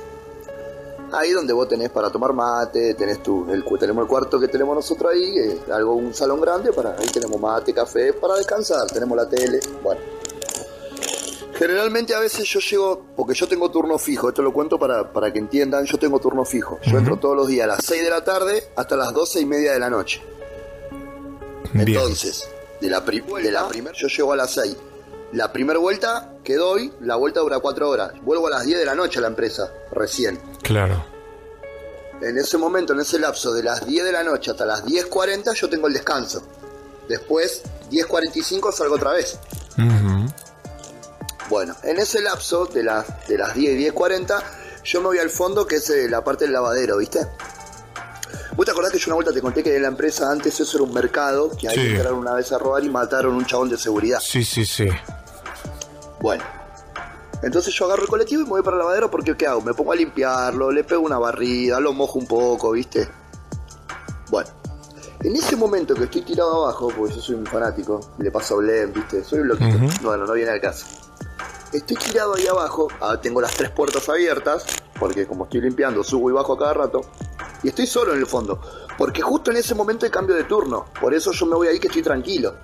De las entran los de las 10 de la noche, se van, lo del- se van a las 10 y entran a las 10. Entonces yo me voy al fondo porque estoy tranquilo. Y en ese momento que estoy ahí limpiando, que estoy abajo ahí, siento como que sube, ¿viste cuando vos eh, sentís cuando suben los escalones o Sí. bajan del colectivo atrás Sí. de todo? Bueno, yo dije, entonces yo estoy escuchando música, estoy limpiando ahí, y escucho como que el colectivo se, se tambalea, como que subió alguien, El peso de alguien subiendo. Eh, claro, y encima del colectivo vacío, lo sentís, sentís el paso del, del golpe, del escalón. Entonces yo dije, uh, entonces yo jodiendo, uy, ¿quién debe ser el guam, bueno, Sí. el guampudo que me viene a molestar ahora, que yo estoy limpiando, a los gritos, ¿viste? Sí. Entonces, ¿qué hago? Le cierro la puerta. Digo, ahora de acá no te bajás. Y yo estoy tirado ahí abajo adelante, ¿viste? Nunca me di vuelta yo a todo esto. Entonces, ¿qué hago? Le cierro la puerta. Cierro la puerta. Y ahora no te vas a bajar. Cuando me doy vuelta para atrás, no había nadie. Ay, Dios. Te puedo asegurar que en un segundo hice todo. Guardé, puse el colectivo en marcha y me fui para adelante. Llegué al control blanco. ¿Qué te pasó? Me dice el chabón. Y le conté. Bueno, es al pedo contarle ahí a los muchachos pues se cagan de risa, ¿viste cómo es? Claro, claro. Hasta que no te Y pasa. bueno, y. No, no, no voy más. Para el fondo no voy más. No, no voy nunca más. Eh, todo, todo- Si no hay gente, no voy más. Es el mismo lugar donde mataron a esta persona, digamos, en el mercado. Es el mismo, claro. Esta empresa, viste que yo siempre te cuento, era y ahí pasan cosas rarísimas. rarísimas siempre, o por ahí se prende la luz del colectivo, se toca sola la bocina, o se prende la, cartelera sola. Eh, no, no, es una cosa de loco. Eh. Lo que pasa ahí es una cosa de loco. Lo que pasa es que yo siempre quiero ir al fondo a filmar, ¿viste? Pero Héctor solo no quiere ir. No, me imagino, olvídate. Olvídate. No, no, no.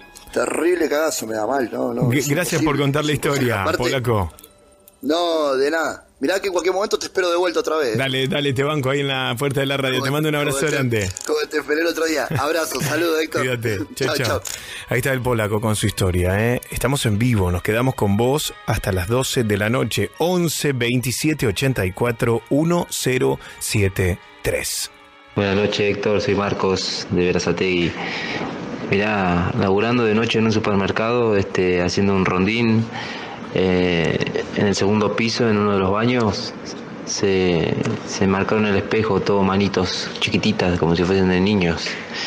Y después, cuando bajo al subsuelo, en uno de los en una jaula que estaba cerrada con candado, la reja, de adentro del fondo escucho que me llama un nenito, que me dice papi. Y me recagué todo en las patas, subí y nunca más volví a bajar ahí. Así que bueno, buenísima la radio, saludos para todos. Hasta la medianoche. Escuchás. La Noche Paranormal en 1015. La Pop. Esta es la historia real de El perro de la penitenciaría. En primera persona. Hola Héctor. Me llamo Ricardo. Soy médico de una cárcel situada en la provincia de Buenos Aires. Esto que les voy a contar ocurrió hace 19 años. En ese entonces yo ya llevaba 11 años trabajando y ahora estoy por jubilarme. Hace 19 años entró como detenido un hombre que había sido condenado por el asesinato de toda su familia en un campo cercano. Aunque la defensa intentó forzar sus argumentos y los hechos para que se lo internara en un neuropsiquiátrico, esto no fue así y se lo trasladó donde yo trabajaba. Querían declararlo insano, debido a que él aseguraba que esta masacre había ocurrido tras invocar al demonio y quedar luego poseído, sin que el diablo se fuese de su cuerpo. Sus padres, su esposa y sus dos hijos pequeños murieron aquella noche en la que él condenó su muerte. Se imaginarán que la llegada de este hombre, al que llamaré Cacho, no fue muy bien recibida por los otros internos. Nunca son bien tratados los femicidas ni los filicidas o parricidas. Cuando lo llevaban los guardiacárceles a su celda, en su primer día como presidiario, sus ahora compañeros intramuros lo amenazaron con hacerle la vida imposible por haber matado a dos niños pequeños, su mujer y sus padres. En aquella cárcel hubo, dos meses después de la entrada de Cacho, un motín bastante feroz en el que afortunadamente hubo una sola baja aunque esto después tendría las consecuencias más graves en los 30 años que llevo como médico en ese lugar. Esto pasó a fines de diciembre de 2001. El país se incendiaba afuera y adentro teníamos un flor de quilombo también. En el motín hubo un grupo de presos liderado por Mateocho que decidió hacerle a Cacho lo que antes le habían advertido. Fue gravemente apaleado y acuchillado. Cuando a Cacho lo trajeron conmigo una vez terminado el motín, el cordobés y Tito, dos presos amigos suyos, ya estaba en sus últimos segundos de vida. Ahí fue cuando escuché de su propia boca decir, el sabueso, el sabueso infernal va a venir, manga de hijos de puta. Yo pensaba que eran los delirios de alguien moribundo, aunque terminó siendo todo lo contrario. En menos de una hora, Cacho estaba muerto y con otro médico debía hacerle la autopsia. Un puntazo en el corazón fue la herida causal de muerte. Las demás lesiones solamente ayudaron a su fallecimiento. Una semana después, uno de los siete integrantes de aquel grupo que mató a Cacho, el Pillín, fue traído desmayado a mi consultorio.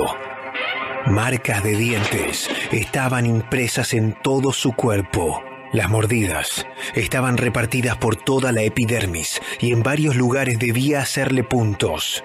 Los colmillos eran bien marcados y la dentadura que había quedado impresa en esa piel era demasiado larga para ser humana. Sé que suena loco, pero parecían las marcas que dejan los perros. Perros que no había en todo aquel sector de la penitenciaría. El pillín levantó fiebre, y aunque habíamos realizado bien la limpieza de las heridas, estas comenzaron a infectársele. Murió por la noche, producto de una septicemia, cuyo origen nunca pude dar, más allá de las mordidas. Insisto, no había ningún perro ahí y de haberlo habido, no podría haber causado una muerte por sepsis tan rápida, con el paciente sin estar inmunodeprimido. Cuando pasó un mes, tres de los que habían tenido que ver con la muerte de Cacho habían pasado por mi sala y todos habían terminado muertos por septicemia. El pillín, Ronco y el Rulo, los tres llegaron con mordidas de algún canino y aumentos de la temperatura corporal, muy significativo en las pulsaciones y de la frecuencia respiratoria, para luego morir a las 12 horas de una infección generalizada. Los tres, pensé en el momento, con delirios acerca de un perro negro con ojos rojos que ingresaba a sus celdas y los atacaba. Ningún compañero de celda lograba ver perro alguno, ni veía las marcas, hasta que este ataque terminaba.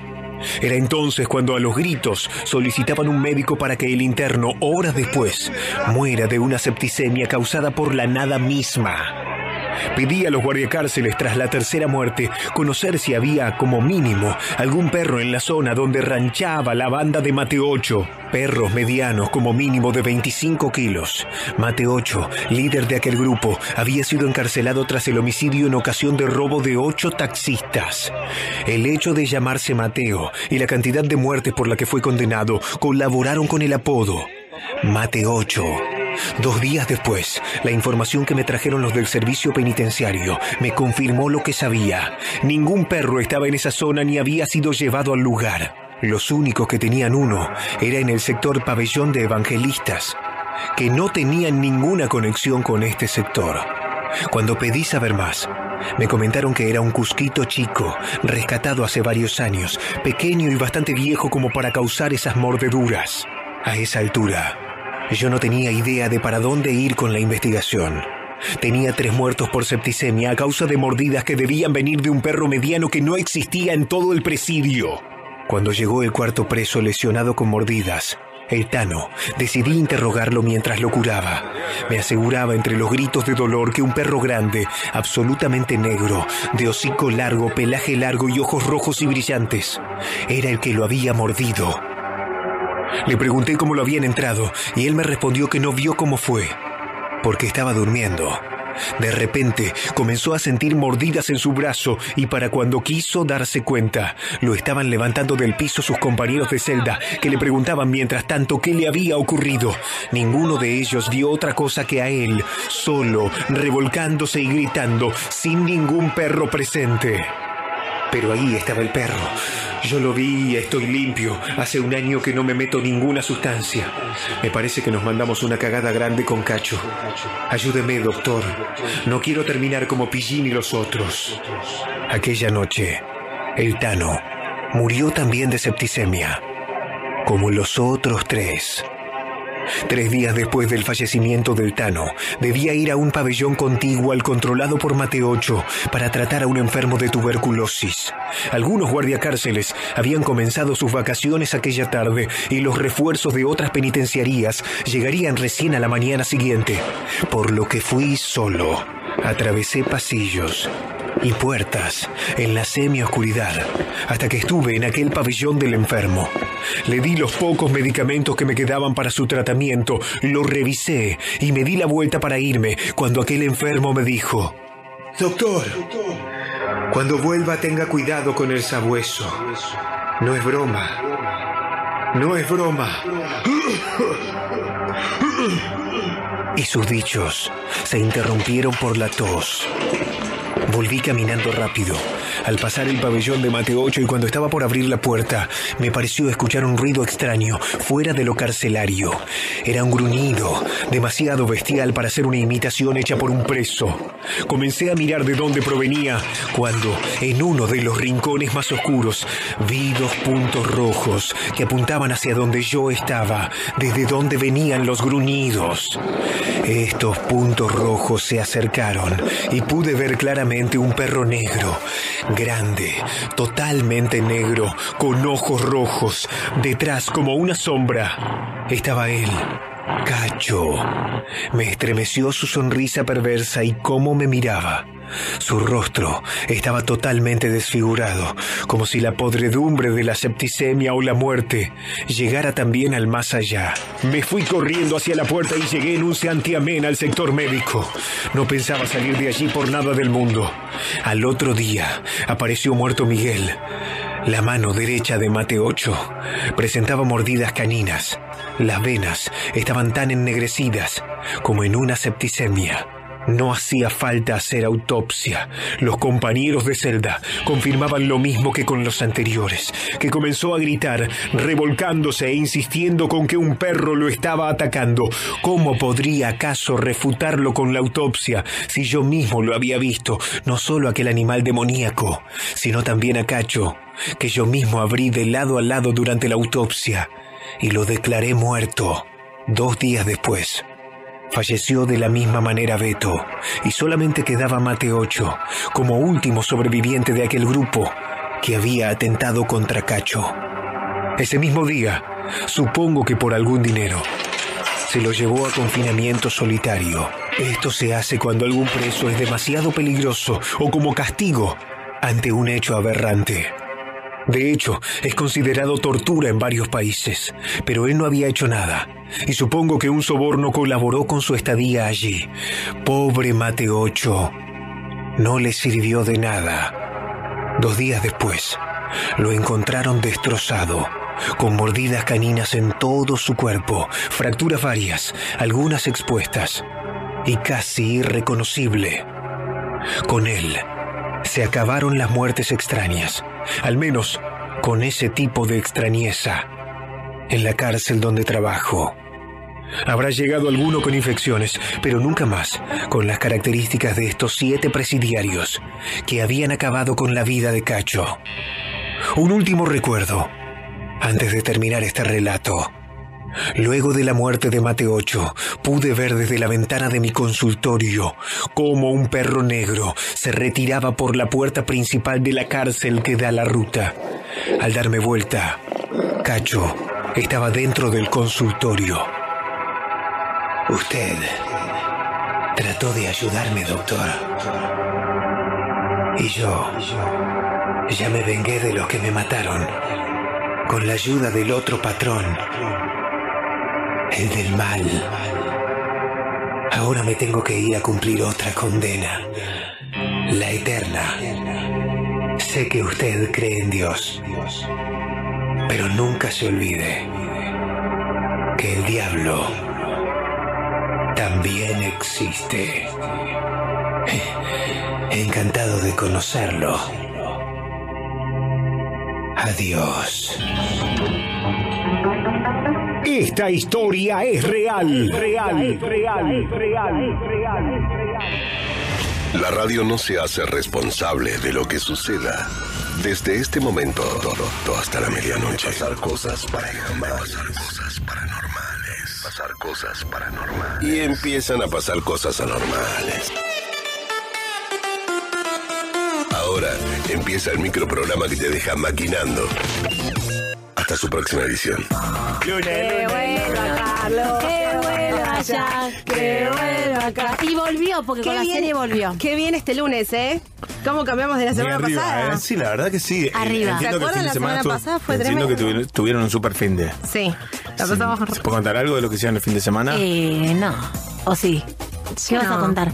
¿Conociste a alguien? No, no, no, no, no, no. No, no, no. ¿Estás alejado de eso? La pasé bien, estoy alejada de Pero eso. estás en el Tinder, mirá que está Tacho Riera, lo confirmó y hay, hay ¿En buen- Tinder? Sí, hay buen, buena mercadería. Buena merca, Ay, no buena me merca. gusta igual, Tacho. No, muy ribu los dos, bueno. Mm. Olis. Mm, mm, mm. Eh, no, no, no, ya me, la app no, no la estoy usando más. Ah, bueno. Me cansé. Toda la misma conversación. Hablé con cinco boludos. ¿Qué quieren los cinco boludos? Hola, ¿de dónde sos? ¿Te, te gustaría una foto de mi miembro? Y No. te gustaría, ya No, saben que te claro que no. Claro que no. Qué difícil que es. Qué difícil. No, les, no les pasa, eh, no sé si Mona estás también en la misma, pero qué difícil que es eh, animarse a vivir una historia en serio. Sí. En estos tiempos que estamos viviendo. ¿no? Sí. Yo estoy cada vez más convencido que me voy a quedar solo. Para mí también te vas a quedar Feliz, solo. feliz. feliz de la vida, feliz de la vida.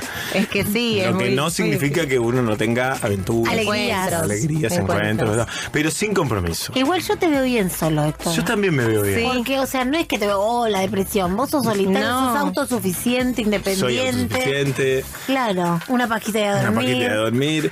No, Vos vos también. que- vos también, ¿no? Una pajita de dormir, sí. Pero porque estuvimos muchos años en pareja, Héctor. Entonces eso ¿eh? tiene una cosa, una connotación de haber vivido en pareja, de bien, viste, de sanar todo ese tema. Lo que venga, vendrá. Lo que nos pase, pasará. Sí, la pero canción. saben que el otro día les Para contaba que vino Ricky Martin. que estuve almorzando con las eras y Sí. me decía que ¿Cómo te quedaste con eso, no? No, no sé lo que te fue la marcó a fuego. Quedó maquinando. Una cosa es el Antonio Laceras que sale al aire Paranormal. y otra cosa es el en la vida real. Es reputeador. No, no, tiró unas máximas que me encantaron. Con un vino también, ¿no? Imagínese. Imagínate, Hola, sí, no. Tenías que haber filmado todo eso. No, no se traiciona la Como cuando intimidad. llama del balcón y acá, está claro. Claro, bueno, y algo es, mirá, este, si a vos te funciona estar solo, Mandate. si vos no sentís que te falta nada, si estás este, progresando, mil cosas, toda alegría, lo que sea. completo, Estás porque- completo. Y me dijo algo muy parecido a lo que me dijo Macarena también la semana anterior, que uno a veces no lo ve. Mm. No lo voy a develar al aire, pero uno a veces no ve cosas de uno mismo, pero que los otros sí la ven. Y que vos la ves cuando estás preparado para verla. Y es re importante el reflejo de una persona que tenés cerca, Sí, tal que cual. te hace de espejo. se te mm, en- entras a tener fallas en la autopercepción. Sí. Eh, porque estás como estresado, lo que sea. Y cuando cortás eh, algún tipo de vínculo, se vuelve como a restaurar esa, Ay. esa eh, autopercepción, ¿no? Hmm. Y los otros te empiezan a confirmar que no, che, mirá que viste que era por acá. Y vos decís, sí, la puta madre, lo veían antes que yo que era Sí. por acá, ¿no? Bueno, pero lo bueno es que pudiste verlo. Sí, y, pero me- también me veo en, las fotos. O sea, yo te puedo decir cómo estaba en tal día si me mostras una foto mía. Te digo, uy, ahí está hecho mierda, acá estoy espectacular. O sea, como que ves tu mi mirada, sensibilidad. mi mirada. Sí, veo, sí, sí, sí. Pero bueno, no sé por qué. Y no, y solo entonces te sentís bien. Sin necesidad, porque también este, las eras me hablaba mucho de la palabra necesidad. Mira, ¿qué necesitas vos para ser feliz? Hoy no necesitas una pareja, está bien. Está bien. necesitas una pareja, bueno, a construir con alguien, ¿no? Pero digo, no hay una regla, una norma. Y, y también voy un poco con esto que vos decías, Mona, de llegará cuando tenga que llegar. Por eso estoy anti aplicaciones de cita y todas esas cosas. No bueno, pero igual también digamos una cosa, si Héctor quiere, sube una foto beboteando a Instagram y le caen 90 minas para No salir tan- con él. no es tan- que Diez necesi- minutos. exacto, no, es que necesite una presitas. No. Yo que soy una desconocida total, No, pero es en, en el sentido de lo mismo, buscamos. digamos. Es algo como que medio muy superficial, me parece. Bueno, eh, tengo un A ver. cuestionario para, Mamá. para hacer. Métele, métele con para todo. hacer. Me las tenés que responder muy rápido. Tienes tiempo hoy. Tienes todo el tiempo del mundo. Bueno, muy rápido me tenés que contestar Yo solo sin tengo que pensar. responder la Y mona después se lo hago a la Ah, mona y ok. les digo el resultado. Ah, Bueno. uh. Bueno, empezamos con el test corazoncito, se llama. Dale. ¿Cómo te gusta comunicarte? ¿Texto, audio, llamada o en vivo? Audio grabado. ¿Te gustan las más grandes o las más chicas? Las más chicas. ¿Qué preferís, abrazo, regalo o halago? Abrazo. ¿En qué número de citas se puede comer provenzal? En la primera. ¿Qué fue lo último que googleaste? ¿Una receta, una dirección o porno? Algo del, para la tele, una información. No, no. Receta, dirección o tres porno. opciones. Bueno, porno. Perdón. Eh, si te viene mal el plato que pediste, ¿lo devolvés o te lo comes igual? Me lo como igual. Cosas que querés hacer antes de morir. Elegí un paquete. Es un paquete esto, ¿eh? A ver. Paquete 1, volar en parapente, hacer masa madre y comerte un grillo. Paquete número 2, comprar un loro, hacer un trío, eh, hacer la BTV todos los días del auto. Paquete 3, salir de testigo, comer milanesa y lavarle los dientes a un caballo. Paquete 3 a pleno. Eh, ¿Preferís llegar tarde o temprano? Tarde. ¿Qué te hace sentir eh, explotar las pelotitas de, de una bolsa, viste, de las de regalo que vienen en Sí, perfecto. ¿Qué te hace sentir? Ah, no tiene opciones esto. No. Es un orgasmo. ¿Dormir en una embarcación o en un refugio de montaña? En un refugio de montaña. La celulitis, ¿es un print, eh, un animal print de carne? Sí. Eh, lo peor de un nombre, un carmelazo o dientes percudidos. Dientes percudidos. De 1 al 10, ¿cuánta atención le prestas a la saliva? No entiendo la pregunta. De 1 al 10, ¿cuántas Leyó mal. No, hay algo raro en la pregunta. Leyó mal lo que. De 1 al 10, ¿cuánta atención le prestás a la ¿Cuánta saliva? atención? Atención, atención. Vos te echas pasar y le decís, eh, ¿cómo tenía la saliva? ¿La tenía pesada? No, ¿Tenía la cero, saliva uno, liviana? uno, le pone nada de Nada de atención. nada. Que si fuera el aliento, 10. Pero la saliva, ¿o qué me importa? Si está todo bien. Bueno, eh, Dame saliva. Tu parte del cuestionario terminó. A ver, déjame ver. Pará, pero está haciendo el voleo. No, no, Esto estoy 5 más inventando. 9 más. Si está escuchando. Rolón, le pido disculpas. Pará, ¿cuántos autos tuviste vos en tu vida? Dos. Ok, dividido No, tres, dos, tres, tres dividido tuve. tres. No, mira, está haciendo cuenta. Bueno, tu cuestionario de personalidad arroja resultados realmente interesantes. Inquietantes. Perturbadores. Acá dice que Héctor Rossi es una persona con mucha intuición, Eso es verdad. que le gusta mucho mezclar la comida salada y dulce, Eso es verdad. que no podría vivir más de tres semanas y media sin bidet, Es verdad. que el puré de bolsita no es para él, No. le gustaría ser más aventurero de lo que es, pero prefiere tener los portarretratos sobre la chimenea. Muy bueno me sacaste una foto La del alma. madre. Una foto del alma me sacaste. te digo. Eh, Eh, los que hacen registros acá, chicos, que se vayan a cagar. Esto le pasa a Esto es Tapo. ya Cuando quieran se lo, se lo hago al que quiera, te lo hago mona rapidito. Bueno, dale. Eh, ¿Tiene sentido ponerse un factor 8? Ah, parate. Perdón, es otro cuestionario. Es otro. Me desmeo. Claro, vos estabas pensando ya respuesta. Factor 8 no tiene sentido. No. Eh, ¿Qué pensás si un chongo con el que salgas eh, maneja su auto en cuero, va al casino dos veces en una semana y te dice frases de los Simpsons todo el tiempo? Jugador. ¿Qué dice de él si pone hashtag en todas las fotos de sus redes? Egocéntrico. ¿En qué nivel tenés puesta la vara en este momento románticamente? Uno. Tengo opciones. A ver. ¿Tiene que trabajar? Ah. ¿Tiene que tener auto? ¿Tiene que tener todos los estudios? Ninguna de las anteriores. Ninguna de las anteriores. Eh, decime qué gusto de helado pedís. Eh, y te voy a. Pará, y el resultado va a ser eh, qué vas a hacer el mes que viene. ok, pero ¿están en las opciones? Eh, no, sin opciones. Dulce de leche, frutilla. ¿Frutilla al agua o a la crema? Al agua. Te vas a olvidar el celular en un lugar. Siempre me lo olvido, literal. Te vas al celular. Eh, y la última, eh, y ahora te arrojo los resultados. Ay, ay, ay. Eh, ¿Babías más en la siesta eh, en la siesta o a la noche cuando dormís en tu casa? Y a la noche, calculo, sí. Sos más babeador ahí. Bueno, eh, Mona. A ver qué me dio. Nervioso. A ver, Mona, uno dividido cuatro. No, no puedo creer que hace las cuentas. no lo puedo creer. Tiene la caja registradora. ¿Cuánt- cuán- ¿Cuántos años tiene tu mamá? Y 80, no sé. Dividido 80. Bueno, eh, acá dice que la mona, si no va a un cumpleaños, le pide perdón a la persona de ese cumpleaños por tres meses. Puede Está ser. bien ¿eh? eso. Sí, ¿Se acuerda cuánto calzan las personas a su alrededor? Sí, vos calzás con 38. ¿Cu- ¿Vos calzás 38? Te dio, te sacó no? la ficha mal, eh. Sí, pero sobre todo la de cumpleaños, ¿viste? Está perfecto. Sí, sí, porque yo soy muy ahí, ¿viste? Muy buenita. Y le gusta mucho que le abran la puerta del auto cuando se sube. Y como me dejo, me reina. La puerta de atrás, pensé que vas Eso no sé, eso lo dejo al criterio de la Qué mona si lo quiere revelar o no. Pero salió, en lo- Increíble salió en el el resultado. increíble. Increíble, mira, te puedo decir algo con una mano en el corazón. Estás perdiendo tiempo trabajando acá, ¿eh? Mal. Me tengo que ir. Tenés que armar, escribir un libro y salir a recorrer el, Es mundo. y A sacarle, un árbol. a sacarle la plata a la Es gente. que son querida. preguntas que te hacen, te hacen conocer mucho al otro. La verdad que sí.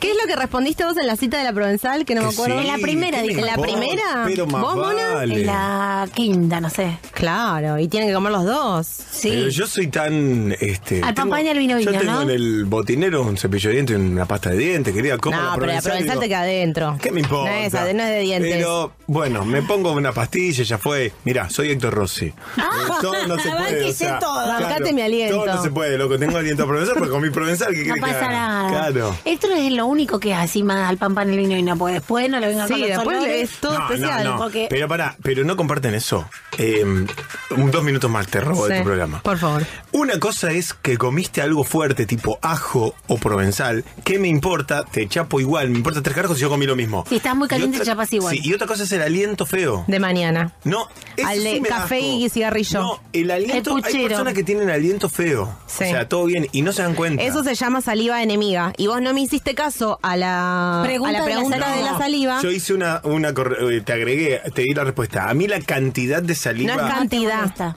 es calidades de saliva. Hay diferentes calidades de saliva. Nunca le Está la saliva eso. blanca, viste que cuando la gente habla se le, No, Se le hace la boquera. se le hace la boquera acá con mucha gente le pasa Eso es. Después está la saliva pesada. Pero es muy, muy a la gente grande, ¿no? Sí. ¿Por qué se le marca así la boquerita? Porque no tienen ya ¿cómo se llama? Sensibilidad en los labios. Ya están- claro. Eh, No tiene está- colmillo.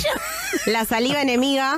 ¿Qué es la saliva? La saliva enemiga es la que eh, los afecta a sí mismos, que le ven los dientes perju- percudidos y feos. no, la saliva no es la saliva hacer enemiga, chicos. ¿En sé. serio? Después está la saliva livianita, Ah, que es más fácil chapar. Yo cuando chapo mis amigas me preguntan Presta cómo tenía la saliva. Esa analista en saliva, igual. ¿no? No, salivóloga. No, no, no, no, no. Eh, bueno, igual a cada, cada día se Van a- aprende le, le van a, le van a empezar a prestar Qué atención. Voy a llevar un hisopo y le, a ver, le pongo en la boca. a ver Es por el COVID, no, por la saliva. no, qué bárbaro. Bueno, nos vamos, gracias. Nos Qué vamos. linda, muy profunda La la verdad que sí, más, más de estas cosas. Dale. Más de- Los test. No te animás a hacérselo a alguien a, a otro programa, ¿no? Este, a un oyente que elijamos que salga al Me aire. encantaría. Salga al aire maquinando Re. y vos le haces el, el- Obvio, encuesta esta. sí, sí, sí. Bueno, preparemos Que se para la anoten, próxima. ¿no?